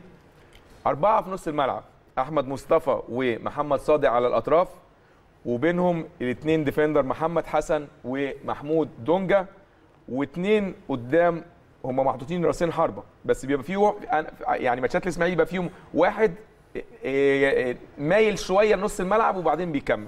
فخر الدين بن يوسف وشكري نجيب. مرة تانية محمد فوزي لحراسة المرمى مصطفى الزناري ناحية اليمين محمد عادل ناحية الشمال اثنين اللي في القلب مروان صحراوي باهر المحمدي أربعة اللي قدامهم أحمد مصطفى ومحمد صادق على الأطراف اثنين ديفندر محمد حسن ومحمود دونجا واثنين مهاجمين قدام راسين حربة فخر الدين بن يوسف وشكري نجيب. البدلاء محمد صبحي محمد بيومي عمر الوحش أحمد مدبولي محمد الشامي عبد الله جمعة مصطفى فارس شلونجو وعماد حمدي. طيب كابتن شريف إسماعيلي على الورق 4 4 2 كابتن إيهاب بيفضل اللعب على الاستحواذ وبناء الهجمة من الخلف. ولكن عنده مساحات كتير جدا جدا جدا هنشوفها في من خلال المباراة. إن هو عنده الكابتن إيهاب من لما مسك الفرقة عنده 8 فوز وعنده 4 هزيمة وواحد تعادل يعني تقريبا ما عندوش وسط. يا فوز يا هزيمة. ونسبة الأهداف اللي دخلت فيه بتدل إن في مساحات كتير وفي أخطاء دفاعية كتير قوي هقول لك على حاجة يا أيمن. إيهاب جلال مسك أي فرقة لعب النادي الأهلي بيها كان ساعات بيلعب 3 4 3 أيوه عنده جرأة غريبة. عنده جرأة غريبة جدا مع كل الفرق. أيوة. بيدي مساحات وحرية للعيبة كلها بيكتسبوها في الملعب إنهم يدوا الفرديات اللي عندهم. أيوه. ودايما زي ما أنت بتقول لعيبة بتبقى موجودة وبتطلع من ناحية الشمال أو من ناحية اليمين للزيادة العددية مع شكري نجيب. مم. وبيحصل تبادلية بين اللعيبة كلها. اللعيبة كلها عندها حرية تحرك. المطلوب مع فرقة زي النادي الأهلي إزاي تعمل التوازن الدفاعي ضد النادي الأهلي؟ والتوازن الهجومي في نفس الوقت إنك هو بيلعب دايما على الثلاث نقاط. أيوة. عامل زي حسام حسن كده عايز ثلاث نقاط. ما بي- ما بيفكرش غير في إن هو يبقى موجود في الملعب ويحرز اهداف وجا- وفاتح الملعب على طول. حتى وهو كسبان يعني مش بيغطي آه وبيرجع يلعب zone defence ده وهو متقدم 1-0 أو 2-0 إنما نتائجه والطريقة اللي هو بيلعب بيها دي واضحة في آخر ثلاث مباريات كسبهم واتغلب مباراه من الاتحاد السكندري وتعادل مع أيوة. فهو من عامل زي الفرق ال- اللي إحنا بنقول زي نقول البرازيل يجيبوا جوال ويجي فيهم جوال. بس أيوة. يقدروا يجيبوا جوال. أيوة. يقدروا يروحوا على على المرمى. يقدروا يبقى لهم وجود في أرض الخصم. وهو دي خطورة فرقة إسماعيل. وعندهم آه، وبيلعبوا للمتعة. لا، بيلعبوا لا بيلعبوا بوجود يعني خلاص بعد اللي حصل لهم في أول الدوري مفيش ضغوط بقى. أيوه. غير إن هم عدوا خلاص وبقوا في منطقة ثابتة. يقدروا يأدوا بأي نتيجة هم عايزينها. خرجوا من المربع الذهبي فهم كل اللي عليهم إن هم بيبحثوا عن فوز يخلي شكلهم كمان أحسن ويخلي الاطمئنان بتاعهم موجود ويخلي فعلا كلمة إيهاب جلال إن هو كان موجود معاهم وعمل طفرة وعمل تغيير. الحقيقة تضاف له يعني تضاف للجهاز للجهاز الفني كله وتضاف كمان لمجلس ادارته إن هو واثقه في المدرب وادوا له حرية التصرف. صحيح. فما كانش مطلوب من النادي إسماعيل السنة دي غير إنه في الأول أول راوند كان حاجة كل الناس خايفة صعبة الأمور. فإن هو يوصل في الشكل ده وكده. فيشكره وفرقة أنت لا تتوقع منها مم. لو أحرزت فيها هدف هيبقى شكلها رد فعلها شكلها إيه؟ أيوة. هل هيحصل هبوط وهيحصل استسلام ولا هتحصل ردة فعل قوية؟ أيوة. خاصة إن في كذا لعيب برضو دخلوا النهارده في الفرقة مم. أعتقد آه مكان آه حسين السيد وفي آه مكان عبد الله جمعة برضه. عبد الله جمعة. برضو دخل في واحد. مصطفى الزناري مصطفى. الزناني. دخل. فكذا لعيب يخش في ال- حسن دخل. محمد حسن دخلوا. اللعيبة دي كلها بتبقى جاية. كان مدبولي. آه. اللعيبة دي كلها بتبقى جاية. زي ما إحنا اتكلمنا جايين يلعبوا النادي الأهلي النهارده. كل لعيب تاني بيبقى ليه شكل تاني ليه. أنا ما بعرفش. يعني أنا ما بقدرش أضمن فرقة إسماعيل قدام الأهلي بيبقى شكلها عامل إزاي. أكيد بتبقى اللعيبة أنا بضربه في اتنين تلاتة. تلاقي الجري بقى معدل الجري بقى أكتر. آه معدل الاستحواذ ساعات بيمسكوا الكورة. وبعدين يهدوا الدنيا لما بيلاقوا النادي الأهلي بيعمل طفرة ال ال الهجوم من ناحية الأطراف خصوصا. أيوة. إنما هو بيبقى اللي أنا بضمنه إن ده بيبقى ماتش مفتوح أيوة. من الفرقتين الحقيقة وما بينتهيش إلا مع صفارة الحكم. صحيح. كابتن علاء يمكن شفنا بعض التغييرات في تشكيل نادي إسماعيلي عن آخر مباراة. إيه النهارده بيبتدي محمد عادل طبعا ده حسين السيد واخد طرد. مروان صحراوي بيلعب باهر محمدي بيلعب ثابتين النهارده بيلعب مصطفى الزناري على حساب عبد الله جمعة. الاثنين اللي في القلب كان آه محمد عادل ومحمود دونجا اللي هم اللي هم الاثنين ديفندر النهارده بيلعب محمد حسن ودونجا. الاثنين اللي كانوا آه، على الأطراف كان آه، مدبولي وصديق وصادق محمد صادق. يمكن مدبولي وصادق عندهم مشكلة شوية في النواحي الدفاعيه دي حقيقة. فهو ملاعب واحد ومخلي واحد على الدكة. تاني حاجة هم عندهم آه، الجانب البدني بيقعوا لو بدأوا من بداية المباراة صادق ومدبولي ما بيجي الشوط الثاني بعد يمكن ربع ساعة أو ثلث ساعة تحس إن هم مجهدين بدنيا فهو النهارده مقعد مدبولي وبادئ قدام بفخر الدين بن يوسف وشكري ناجي هو النهارده ايهاب التشكيلة دي في طبعا حاجة اضطرارية اللي هي بتاعت حسين كويس. بيلعب محمد عادل وده مش مكان محمد عادل آه. كده كان عنده مشكلة برضه ناحية ال back آه، back شمال كان بيلعب في محمد عادل محمد عادل لعيب نص ملعب ولعيب نص ملعب كويس على فكرة. آه. لكن هو دايما بيلجأ له لما يبقى عنده مشكلة في ناحية الشمال هو لعيب ذكي بيعرف يتصرف لكن ما عندوش مم... ما عندوش المقاومات بتاع ال- ال- الظهير الأيسر. آه. حتة ومش سريع كمان. آه، يعني ممكن النهارده تبقى لو لو, النادي الأهلي استغلت تبقى مشكلة. جامدة جدا جبهة مفتوحة خالص يعني آه. لكن تشكيلة إيهاب النهارده هو مش مش فاتح الملعب زي زي كل مبارياته. النهارده لا النهارده تحس النهارده الملعب مقفول. آه. مقفول زحمه. زحمه. بأربعة في نص الملعب مظبوط. مع تغييرات شوية. طب بمناسبة الأربعة هو هيلعب بالأربعة دول فعلا في نص الملعب. أكيد. أكيد مش هيلا- مش مش هيجازف أكتر من كده. مم. لأن هو عايز يعتمد على يقفل نص الملعب كويس قوي والمساحات حتى تغيير مصطفى دي هو عامل حساب كويس قوي لعلي معلول. على آه. الجانب الجانب الأيسر هو مضطر يلعب محمد عادل. لكن هتلاقي التزام في نص الملعب اثنين مدافعين في نص الملعب مدافعين مدافعين يعني محمد حسن ومحمود دونجا اثنين مدافعين يعني 90% دفاع ما بيتحركوش كتير أو ما بيطلعوش لقدام كتير. هو اللي بي اللي بيعتمد عليه في الحته الهجومية محمد صادق. لعيب آه لعيب كويس لعيب مهاراته كويسة يعرف يعمل تمريرة خطر يعرف يشوط. يعني لعيب آه عنده مهارة ممتازة محمد صادق. كان هو مدبولي بس هو النهارده لما تبص التشكيل كده ايمن هو استغنى عن لعيبة الكورة. هو عايز دايما ناس ملتزمة في نص الملعب ويسيب محمد صادق هو اللي ممكن يعمل الحتة الهجومية. طب نستاذنك كابتن. نروح للملعب وزميلنا فاروق صلاح يعرفنا آخر الأجواء قبل بداية المباراة. اتفضل يا فاروق. طبعا كل التحية للكابتن أيمن شوقي وضيوفه الكرام كابتن شريف عبد المنعم كابتن علاء ميهوب الكابتن أسامة عرابي والكابتن عادل عبد الرحمن. وأيضا الشكر موصول لكل مشاهدينا مشاهدي ومتابعي شاشة قناة النادي الأهلي في كل مكان. من هنا من استاد الإسكندرية خلاص قبل لحظات قليلة من انطلاق مباراة الأهلي والإسماعيلي في الجولة التاسعة والعشرين للدوري المصري. عايز أقول لك يا كابتن أيمن الأجواء هنا أكثر من رائعة. درجة حرارة الجو 27 درجة مئوية. أجواء وأرضية الملعب تنبئ إن شاء الله إن إحنا نشوف مباراة قوية ومثيرة ما بين الأهلي والإسماعيلي. عندنا معلومة في غاية الأهمية يا كابتن أيمن إن آخر مباراة جمعت ما بين الأهلي والإسماعيلي هنا على استاد الإسكندرية كانت من 27 سنة. مباراة المباراه الفاصله اللي كانت ما بين 4-3. الأهلي والإسماعيلي واللي انتهت بفوز النادي الأهلي بأربع أهداف مقابل ثلاثة مثلاً؟ أهداف. طبعا هاتريك الكابتن محمد رمضان والجون الرابع الكابتن أيمن شوقي. طبعا الهدف الرابع كان للكابتن أيمن شوقي.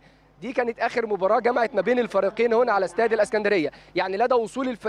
لدى وصول الفريق الاستاد ال- ال- الاسكندرية مستر بيتسو موسيماني تفقد أرض ال- الملعب وأثنى على أرض الملعب وطول ال- النجيلة. وأيضا يعني المسؤول ال- مسؤول الاستاد الاسكندرية طبعا المباراة هي مباراة النادي الأهلي فقاموا برش الملعب. آه، العلاقة اللي ما بين الأهلي والإسماعيلي النهارده أيضا ما هيكون متواجد وتقدم الحضور في هذا اللقاء الكابتن محمود ال- الخطيب. يعني منذ لحظات كان الكابتن محمود محمود عاشور يعني حكم ال- الفار في هذا اللقاء برفقة الحكم المساعد محمود رضا. آه، يعني توجه إلى غرفة الفار لتفقد الأجهزة ومراجعة كافة الأمور. كل الأمور هنا بتنبئ إن شاء الله يا كابتن أيمن بمباراة إن شاء الله تكون قوية ومثيرة إن شاء الله ولاعبي النادي الأهلي يكونوا قادرين على تحقيق ثلاث نقاط من هنا من استاد الإسكندرية. أنا موجود معاك يا كابتن أيمن لو في أي استفسار أو أي تساؤل. شكرا جزيلا يا رؤى ودايما بنتفائل بيكم على طول قبل الماتش. أنتوا يعني بصراحة بتطمنونا شوية. فإن شاء الله كل التوفيق للنادي الأهلي ويبقى مكسب بإذن الله رب العالمين. اتفضل يا كابتن علاء. آه آه، كنت بتكلم على ال- ال- ال- ال- التشكيلة الرباعي في نص الملعب. هو النهارده سايب بس محمد صادق. هو اللي هيفرق معاه في الحتة الهجومية لكن آه، اتنين ملتزمين في نص الملعب أحمد مصطفى يبقى محمد علي ناحيه الشمال. لكن تشكيلة إياب جلال بتقول إن هو مش عايز يدي مساحات للنادي الأهلي عامل حساب كويس قوي للأطراف بتاعة النادي الأهلي. واللعب مش مفتوح النهارده. آه ممكن هو ما هيستلم الكورة هيلعب من رجل لرجل ما يحبش يلعب الطويل إلا في في, في كورة مرتدة على فخر الدين وبيعتمد أيوة. على سرعته وقوته البدنية أيوة. وده مقلق جدا وكمان شكري شكري بيسيب فخر الدين هو اللي متقدم شوية بالظبط. وشكري عنده حرية التحرك في الثلث الأخير ممكن تيجي طرف من الأطراف ممكن تيجي حربة تاني آه عنده سرعة كويسة. بيعرف يسدد كويس. يعني جاء يعني لعيب مقلق برضو آه، شكري عشان كده ده الشكل أيمن دايما كل مدير فني لما بتحس لما بتشوف التشكيلة ال- الفرقة بتاعته بيديك هو بالظبط بيفكر في إيه. زي مستر موسيماني لما عمل التشكيلة دي أنت عارف خلاص بيفكر في إيه. أو أنت مبدئيا تفكير النادي الأهلي واحد إن هو أيوة. دايما ضاغط وهو اللي عايز يستحوذ ودايما هو عايز يعمل الضغط الهجومي كويس. عشان كده بقول لك النهارده مش هتلاقي المساحات كتير قوي في نص الملعب. أيوه. هتبقى لحد كبير مقفولة شوية. كابتن أسامة آه، الكابتن علاء بيقول إن الكابتن إيهاب جلال حاطط الأربعة دول في نص الملعب وهيلعب فيهم بيهم فعلا علشان المساحات الفاضية اللي بتبقى ما بين نص الملعب وخط الظهر خصوصا لما بيهاجموا لأن شفنا الماتشات اللي فاتت الإسماعيلي الإسماعيلي بيلعب لعب مفتوح يعني من أول مباراة لنهاية المباراة بيبقى عنده مساحات كتيرة جدا بيستغلها الخصم وتقريبا كل مبارياته داخل فيها جوان. هو النهارده الكابتن إيهاب هل هيلعب بأربعة فعلا ولا ممكن يلعب أربعة واحد أربعة واحد يبتدي الماتش كده وبعدين يقسم الماتش لأوقات حسب ظروف المباراة وحسب نتيجة المباراة؟ هو إيهاب زي ما قلنا بيحب يلعب على بناء الهجمة من تحت وإن يهاجم كويس. مش من الناس المتحفظة قوي ولكن هو حاجتين اضطروه يعمل كده إنه بيلعب النادي الأهلي. ماشي.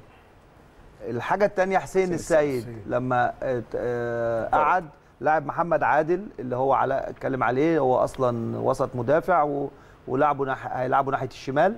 فلاعب محمد حسن ارتكاز جنب دونجا. خلي بالك محمد حسن ودونجا اتنين وسط مدافعين مدافعين. يعني يعني مش الاتنين. يعني آه يعني يعني الأسلوب اللي هو ستة مركز ستة ستة. مش مش ما عندهمش حتى مخاطرة حتى لقدام. ما عندهمش المخاطرة لقدام إن ما بيعدوش. نص الملعب. تقريبا. يعني اللي هم ال ال ال ال زي ما بقول لك الوسط المدافع اللي هو رقم ستة اللي بيقف بيقف الاثنين أيوة.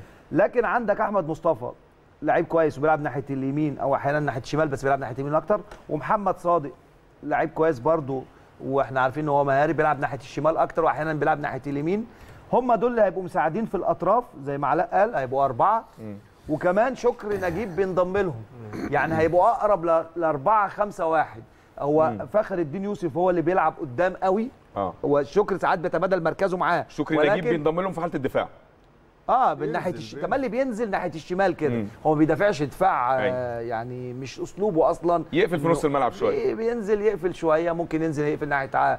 هو تملي بيميل ناحية الشمال أكتر. هو بيروح ناحية اليمين بس تملي لعبه هو الشمال. يمكن كان معانا في المنتخب الاولمبي سنتين آه تملي لعبه يميل لناحية الشمال أكتر. يعني أيوة. راس بيروح لك... كمركز راس الحربة ومركز عشرة بس تملي بيحب يجي من ناحية الشمال أكتر من ناحية اليمين. أيوه. عشان فخر الدين يا اسامه كمان بيبقى من ناحية اليمين. مظبوط كده. يعني. أيوه صح. يعني هو فعلا علاء قالها دلوقتي فخر بيما بي بي بي من اللعيبة اللي بتحب يلعب راس حربة ويروح ناحية اليمين أكتر وشكري من اللي هو بيلعب آه، راس حربة أو تحت راس الحربة ويميل ناحية الشمال أكتر. صحيح. لكن شكري هو اللي بينزل يعني أكتر شوية من من فخر بس ساعات برضو فخر بينزل. أيوة. فخر بياخد بيفضل واخد ال- الشكل الأمامي ده قدام ال- الأربعة ويكمل معاه آه، شكري.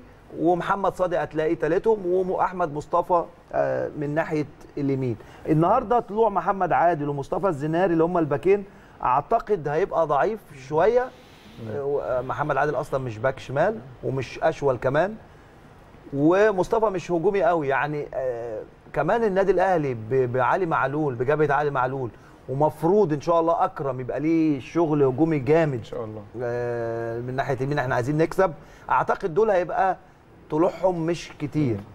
قليل. آه يعني هو المساندة هتبقى أكتر من أحمد مصطفى وصادق. مع شكري نجيب وفخر الدين بن يوسف يعني. صحيح آه، بالنسبة للنادي الأهلي أعتقد إن علي معلول هيبقى ليه دور كبير جدا زي زي بالطبيعي. واكرم توفيق إن شاء الله يكون ليه دور في الناحية الهجومية لأنه بقى هيأثروا جدا مع اجاييه وحسين شحات في الأطراف يعني. بإذن الله رب العالمين. تعالوا نروح لتقرير عن المباراة ونرجع لحضراتكم مرة أخرى مع نجومنا الكبار. كابتن عادل آه، المخاطرة النهارده هتبقى محسوبة عند كابتن إيهاب جلال. أكيد. لأنه هيلعب 4 5 1 زي ما إحنا قلنا. بس الطرفين مين بقى؟ بالظبط. هنا مهم. مم. فخر هيلعب على علي معلول فخر الدين بن يوسف. طبعا. عشان ما يطلعش علي معلول آه هيميل فخر ناحية يمينه عشان يقابل علي معلول علي الأول ما يطلعش. أيوه. ياخد من وراه. ماشي. ده رقم واحد. الناحية الثانية أحمد مصطفى. أحمد مصطفى لعيب عنده سرعات. امم ولعيب كويس. أما شكري نجيب أيوه. دايما بلا مركزية. شكري بيلعب في أي مكان في نص الملعب الأمامي. كويس. شكري يلعب تحت الراس حربة. يمين ناحية الشمال. يميل ناحية اليمين. لما بيميل ناحية اليمين فخر بينزل راس حربة مكان شكري. لأن. فخر الدين بن يوسف أصلا كان بيلعب راس حربة. واحيانا يلعبوه طرف يمين. وفي آخر ايامه من المنتخب ال- ال- ال- تونس. التونس التونسي لعب ناحية الشمال كان أيوة. مع كان مع معلول مم. مش معلول بتاع المدرب نبيل، المنتخب نبيل. التونسي أيوة، نبيل أيوة. نبيل معلول آه ففخر يعني من الناس اللي هو بيجي من تحت بس من طرف يمين الأي... عشان علي معلول ماشي لأنه أي مدرب بيحط أول حاجة في دماغه في النادي الأهلي سرعات علي معلول وهجوم علي معلول. فيعمل إيه؟ ما يخليش واحد يلعب على الذكي. يعني وأنا أنا بثق في إن إيهاب جلال مدرب ذكي ومدرب كويس. يعني دي حقيقة. ودى نادي الإسماعيلي في حتة تانية. ومن ضمن المدربين اللي بيفكروا في الملعب. لا وايهاب جلال عنده تنظيم غير عادي. مم. عنده فكر غير عادي. أيوه. وراح نادي غير عادي. نادي الإسماعيلي نادي كبير. طبعا. آه لازم نعترف. طبعا طبعا. نادي الإسماعيلي لما بيبقى كويس في الدوري المصري بيدي رونق للدوري كمان مع الأهلي ومع الزمالك وبيبقى آه بيخلي الدوري شكله كويس والمنافسة شكلها كويس قوي صحيح. يمكن إحنا كنا زعلنا إن النادي الإسماعيلي كان في البداية طلع كده. وبدأ كده. لكن إيهاب جلال أعاد للإسماعيلي. أرجع للتكتيك بتاع إيهاب جلال. إيهاب بيلعب على الجزئيات الصغيرة. اللي هي؟ اللي هو حتة النادي الأهلي الحتة الهجومية بتاعته والضغط من قدام. عمل إيه؟ لما جه يعوض حسين السيد عوضه بمين؟ بمحمد عادل. محمد عادل. محمد عادل ده ديفندر أصلا. أيوه محمد عادل يعني من اللعيبة بس قدر إنه يلعب back left كتير. مم. أكتر من مرة طوارئ مع عبد جلال لعب back left. وأوقات في الم... في المباريات بيلعب back left كويس. لكن الحاجة اللي أنا لفت نظري في تشكيل مصطفى الزنانيري. أيوه لما شال عبد الله جمعة وحطه. ليه؟ علشان ده بيه... عبد الله أخف منه هجوما ممكن بيهاجم لكن مصطفى أقوى دفاعا. آه ملتزم دفاعيا. وأقوى. وأقوى. الاثنين الديفندرات محمد حسن ودونجا كباتن قالوا فعلا ما بيتحركوش. دفاعي بحت. هيبقوا الاثنين مع مروان صحراوي مع باهر المحمدي ومع مصطفى ومع محمد عادل هقدر أقول لك كن دول اللي هيدافعوا. يبقى انت بتتكلم خمسة. عن اوراق هجوميه بالنسبة للنادي الاسماعيلي. محمد صادق مع فخر الدين بن يوسف. وشكري نجيب. واحمد مصطفى. واحمد مصطفى. واحمد مصطفى يكمل. احمد مصطفى اخطر مم. من الثلاثه على النادي الاهلي النهارده. لو احمد مصطفى بتاع بلجيكا اللي أنا عارفه اللي أنا كنت جايبه سموحة. أيوه لو هو اللاعب اللي بيلعب طرف شمال. آه. ده من اخطر اللاعبين اللي هتشوفهم. عامل زي عمار حمدي كده. لو ده آه. احمد مصطفى. أيوه سرعته يعني هم هيفضلوا له الجزء ده ناحية الشمال أيوة. علشان انطلاقاته هو وبص بس هتلاقي في النادي ماتشات كتير لعب على ناحية آه. اليمين على فكرة هو بيلعب آه. يمين آه. وشمال يا كابتن آه. لكن لكن لما يجي يحط فخر مم. ممكن يودي فخر على علي معلول لمعرفته بيه خوفا من علي معلول عارف إن فخر من الناس اللي قلبها قوي فخر الدين بن وعنده يوسف سرعات عنده سرعات فخر الدين بن يوسف معروف عنه إن هو قوي ومجهوده عنده جامد مجهوده جدا. كبير. رغم إن هو كبر في السن شوية أيوة. لكن و... وعنده تهديف بيشوط جيد. كمان آه. واو هداف. يلعب على الجول كويس. هو هداف جاب طول 10 الوقت. اجوان عشرة. واشتراكه قليل. أيوه يعني بيشترك في أوقات قليلة ولكن بيحرز كتير. فالنهاردة أكتر ناس هتتعب فرقة النادي الأهلي الهجمة المرتدة بمين؟ بأحمد مصطفى ومحمد صادق وشكري نبيل وفخر الدين بن يوسف. شكري نجيب شكرا آه لك. شكري نجيب وفخر الدين بن يوسف. آه. الأربعة دول بلا مركزية هيشتغلوا في الحتة الأمامية في الحتة الدفاعية وأول ما يجي حتة دفاعية هتبص تلاقي فخر نازل أحمد مصطفى نازل شكري هي هو اللي هيبقى قدام محمد صادق هيبقى تحت صادق ما. مش مميز قوي في النواحي الدفاعية ولكن مميز في الكرة وهي تحت رجله آه لعيب كورة كويس في الباص لا لعيب كورة كويس طبعا. طبعا يعني من مفاتيح لعب النادي الإسماعيلي محمد صادق بص يا كابتن النادي الأهلي ينجح لو مسك محمد صادق. لأن محمد صادق لما بيمسك الكرة. كويس بيشغل مين مظبوط. أحمد مصطفى وبيشغل شكري وبيشغل فخر. فخر. والثلاثه أقوياء واحد خفيف آه. والاثنين أقوياء فتلاقي محمد صادق بيحط الباص ومحمد صادق رتمه بطيء في آه. اللعب. ولكن مهارته عالية أيوة. بيعرف يباصي شبه مدبولي شوية يعني لا يمكن مدبول أخف يا كابتن شوية آه. لكن صادق أحرف كتير صادق فكره عالي يعني عارف اللعيبة اللي هو الأشول اللي هو بيقف يغير اتجاهاته يحط الباص الأمامي يحط الباص البيني في لحظة يودي اللعيب عند الجول وهو كمان جوه ال 18 بيبقى من هدوء وخطر جدا في إيه؟ ياخد بنالتي يعني ياخد يعني, فاول يعني أنت مع الكباتن إن إيهاب مش هيخاطر النهارده ويعمل ضغط عالي كعادته. بص إيهاب جلال ما بيحطش في دماغه إلا حاجة واحدة بس إلا يكسب مباراة. ودي ميزة إيهاب جلال كمدرب. يلعب زمالك يلعب أهلي عاوز يكسب المباراة. كويس. بس مع النادي الأهلي بيبقى أكثر حرصا من أي نادي تاني. آه يعني هيعمل النهارده توازن بين دفاع وهجوم. أنا بقول لك النهاردة- بيهاجم في البداية. بيهاجم من البداية. آه يعني آه. وبيضغط. من البداية. آه. هتلاقي مع, جلال. مع اللي بينتهي بيه عادل ده. اللي هو؟ وهيخاطر النهارده وهيهجم عليك من النهارده. البداية؟ آه بس وهيعملها لا هو بس- بيعمل بس حاجة بالك بس عادل. التشكيل ما ما يبينش نقطة كده. حلوة. إيه؟ طريقة اللعب والتشكيل ما يبينش كده. لا بس عايز أقول لك على حاجة. هو أنت كلنا اتكلمنا في حاجة وعادل اتكلم في حتة التبادلية بتاعة فخر الدين وشكري شكري. نجيب. شكري بيفقد الراس حربة لأنه بينزل تحت أيوه. كتير أيوة. قوي عشان يعمل زيادة عددية ويستلم. أيوة. لأنه لما بيتمسك بيحس إن هو اتقيد خلاص. أيوة. فبيروح بيضطر ينزل لتحت. بيعوضوا فخر الدين إنه متحرك كويس قوي في الصف الأمامي ده. ممكن تلاقيه بيتحرك رأس حربة وزي ما أنت قلتوا ناحية اليمين وزي ما قال عشان علي معلول كمان بس ما بيبقاش فيه الشكل ال- الدفاعي اللي بيفكر فيه فخر الدين. لا فخر الدين عايز يدافع كويس صح آه كده. بس عايز إيه؟ عايز في نفس الوقت يبقى له وجود مع شكري على في حالة التهديف لأن الناحية الشمال بتشتغل كويس قوي وبيحاولوا ياخدوا منها أي فرقة يسرقوهم في هدف وكده ويبقى لهم وجود. بس هم في الآخر وفي الأول بيلعبوا جيم والمباراة ما بيعرفوش؟ يعملوا. قول يا عادل. المباراة النهارده مسمعة في تونس. آه طبعا. ليه؟ الاثنين نجوم لأن في- علي معلول آه. وفخر الدين بن يوسف يوسف. دائما الناس المحترفة اللي كويسين مع- جدا مع بعض آه بيتسمع كويس قوي عندك تعليق على الموضوع لا لا لا أنا معاهم بس هو فعلا شكري بيحب؟ يسقط كتير عشان بيشوط كويس فهو بيحب يجي بوشه يعني مش من ال. مش من الناس اللي بيحبوا زي ما شريف قال إن يلعب كراس حربة ظهره للملعب أيوة. يحب يسقط ويستلم عشان يجي لك بوشه لأنه بيشوط شمال ويمين كويس. ولكن سيناريو البداية النهارده ممكن يختلف عن ال- السيناريوهات العادية بتاعت نادي الإسماعيلي لا بيها بص المباريات. بص هقول لك حاجة.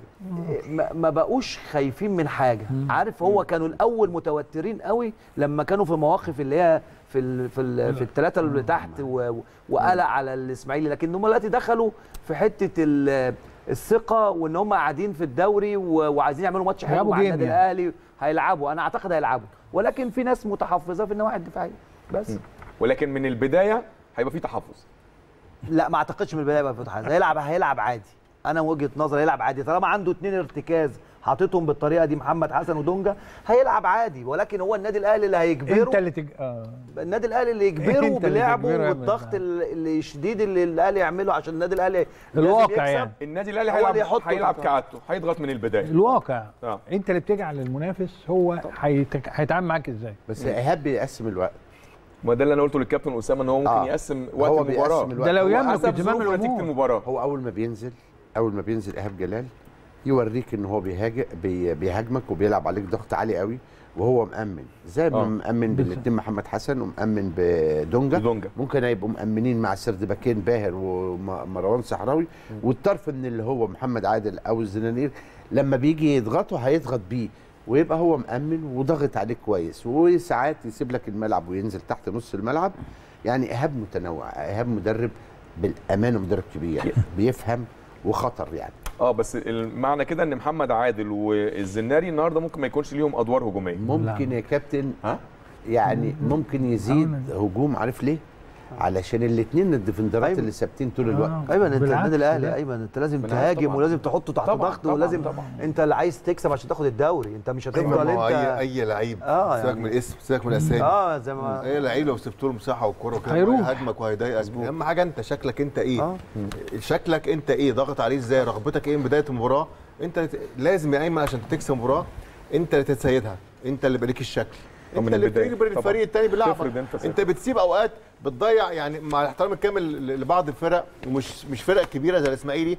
كنت بتسيب لها مساحة وقت كانت بت- كانت بتضايقك. أي لعيب كورة وسبت له مساحة والوقت أكيد هيضايقك. أنت أنت ضغطك أنت رغبتك أنت عايز تخلص مباراة بسرعة هو. ده النادي الأهلي. بص يا علاء أنت اللي أي فرقة بتلعبك رد فعل. مظبوط. مش أنت اللي بيبقى عندك الفعل انت الفعل وهم رد فعل ليك الفعل. إزاي يعملوا عليك ال counter attack إزاي بيبقى لهم وجود في الملعب انت اللي بتديهم المساحة يعني البداية اللي. فاتت يا إيمن بتاعت سيراميكا كانت هايلة الصراحة جدا. من سيناريو احسن. من أحسن المرات. في آه. الاسابيع الأخيرة آه. الضغط اللعيبة كانت عاملاه والتركيز وال- والشراسة اللي على الجون يعني كان واضح إن النادي الأهلي دوافع. عايز آه الدوافع كانت عالية جدا واضحة جدا. مظبوط. والدوافع النهارده لازم تبقى عالية جدا. طبعا طبيعي. ومعطيات طبعا. طبيعي. طبعا. طبيعي طيب. كابتن شريف آه، ممكن نشوف أهداف مبكرة؟ أنا بتمنى أول شوط يخلص. التمني ده بتاع كل مرة. لا ننسى استناني بس. ماشي. أنا بتمنى النهارده إن أول شوط آه. يخلص 2-0 للأهلي. لا أنت دايما بتقول لي قبل الماتش الماتش يعني ده هيخلص. كذا. إن شاء الله. 2-0 إن شاء للأهلي. أول شوط. أول إن شاء شوط. الله. الشوط الثاني لينا كلام تاني. بإذن ماشي. كابتن علاء. آه في أهداف الشوط الأول. يلا الشوط الأول نتمناها حمراء إن شاء الله. أكيد طبعا. بإذن الله. كابتن اسامه إن شاء الله في أهداف في الشوط الأولاني. إن شاء الله للنادي الأهلي. آه طبعا. يعني طبعا إن شاء الله للنادي الأهلي. إن شاء الله. كابتن عادل. إن شاء الله الأهلي يبدأ بالإحراز يعني إن شاء الله. بإذن الله رب العالمين. يعني ال- الأهلي إن شاء الله كعادته هيضغط من البداية. أكيد وإن شاء الله يجيب جون مبكر لأن الفرقتين بيلعبوا كرة مفتوحة يعني. بإذن الله رب العالمين. كل التوفيق للنادي الأهلي إن شاء الله. هنروح لفاصل ونرجع لحضراتكم مرة أخرى بعد نهاية أحداث الشوط الأول. أرجوكم انتظرونا.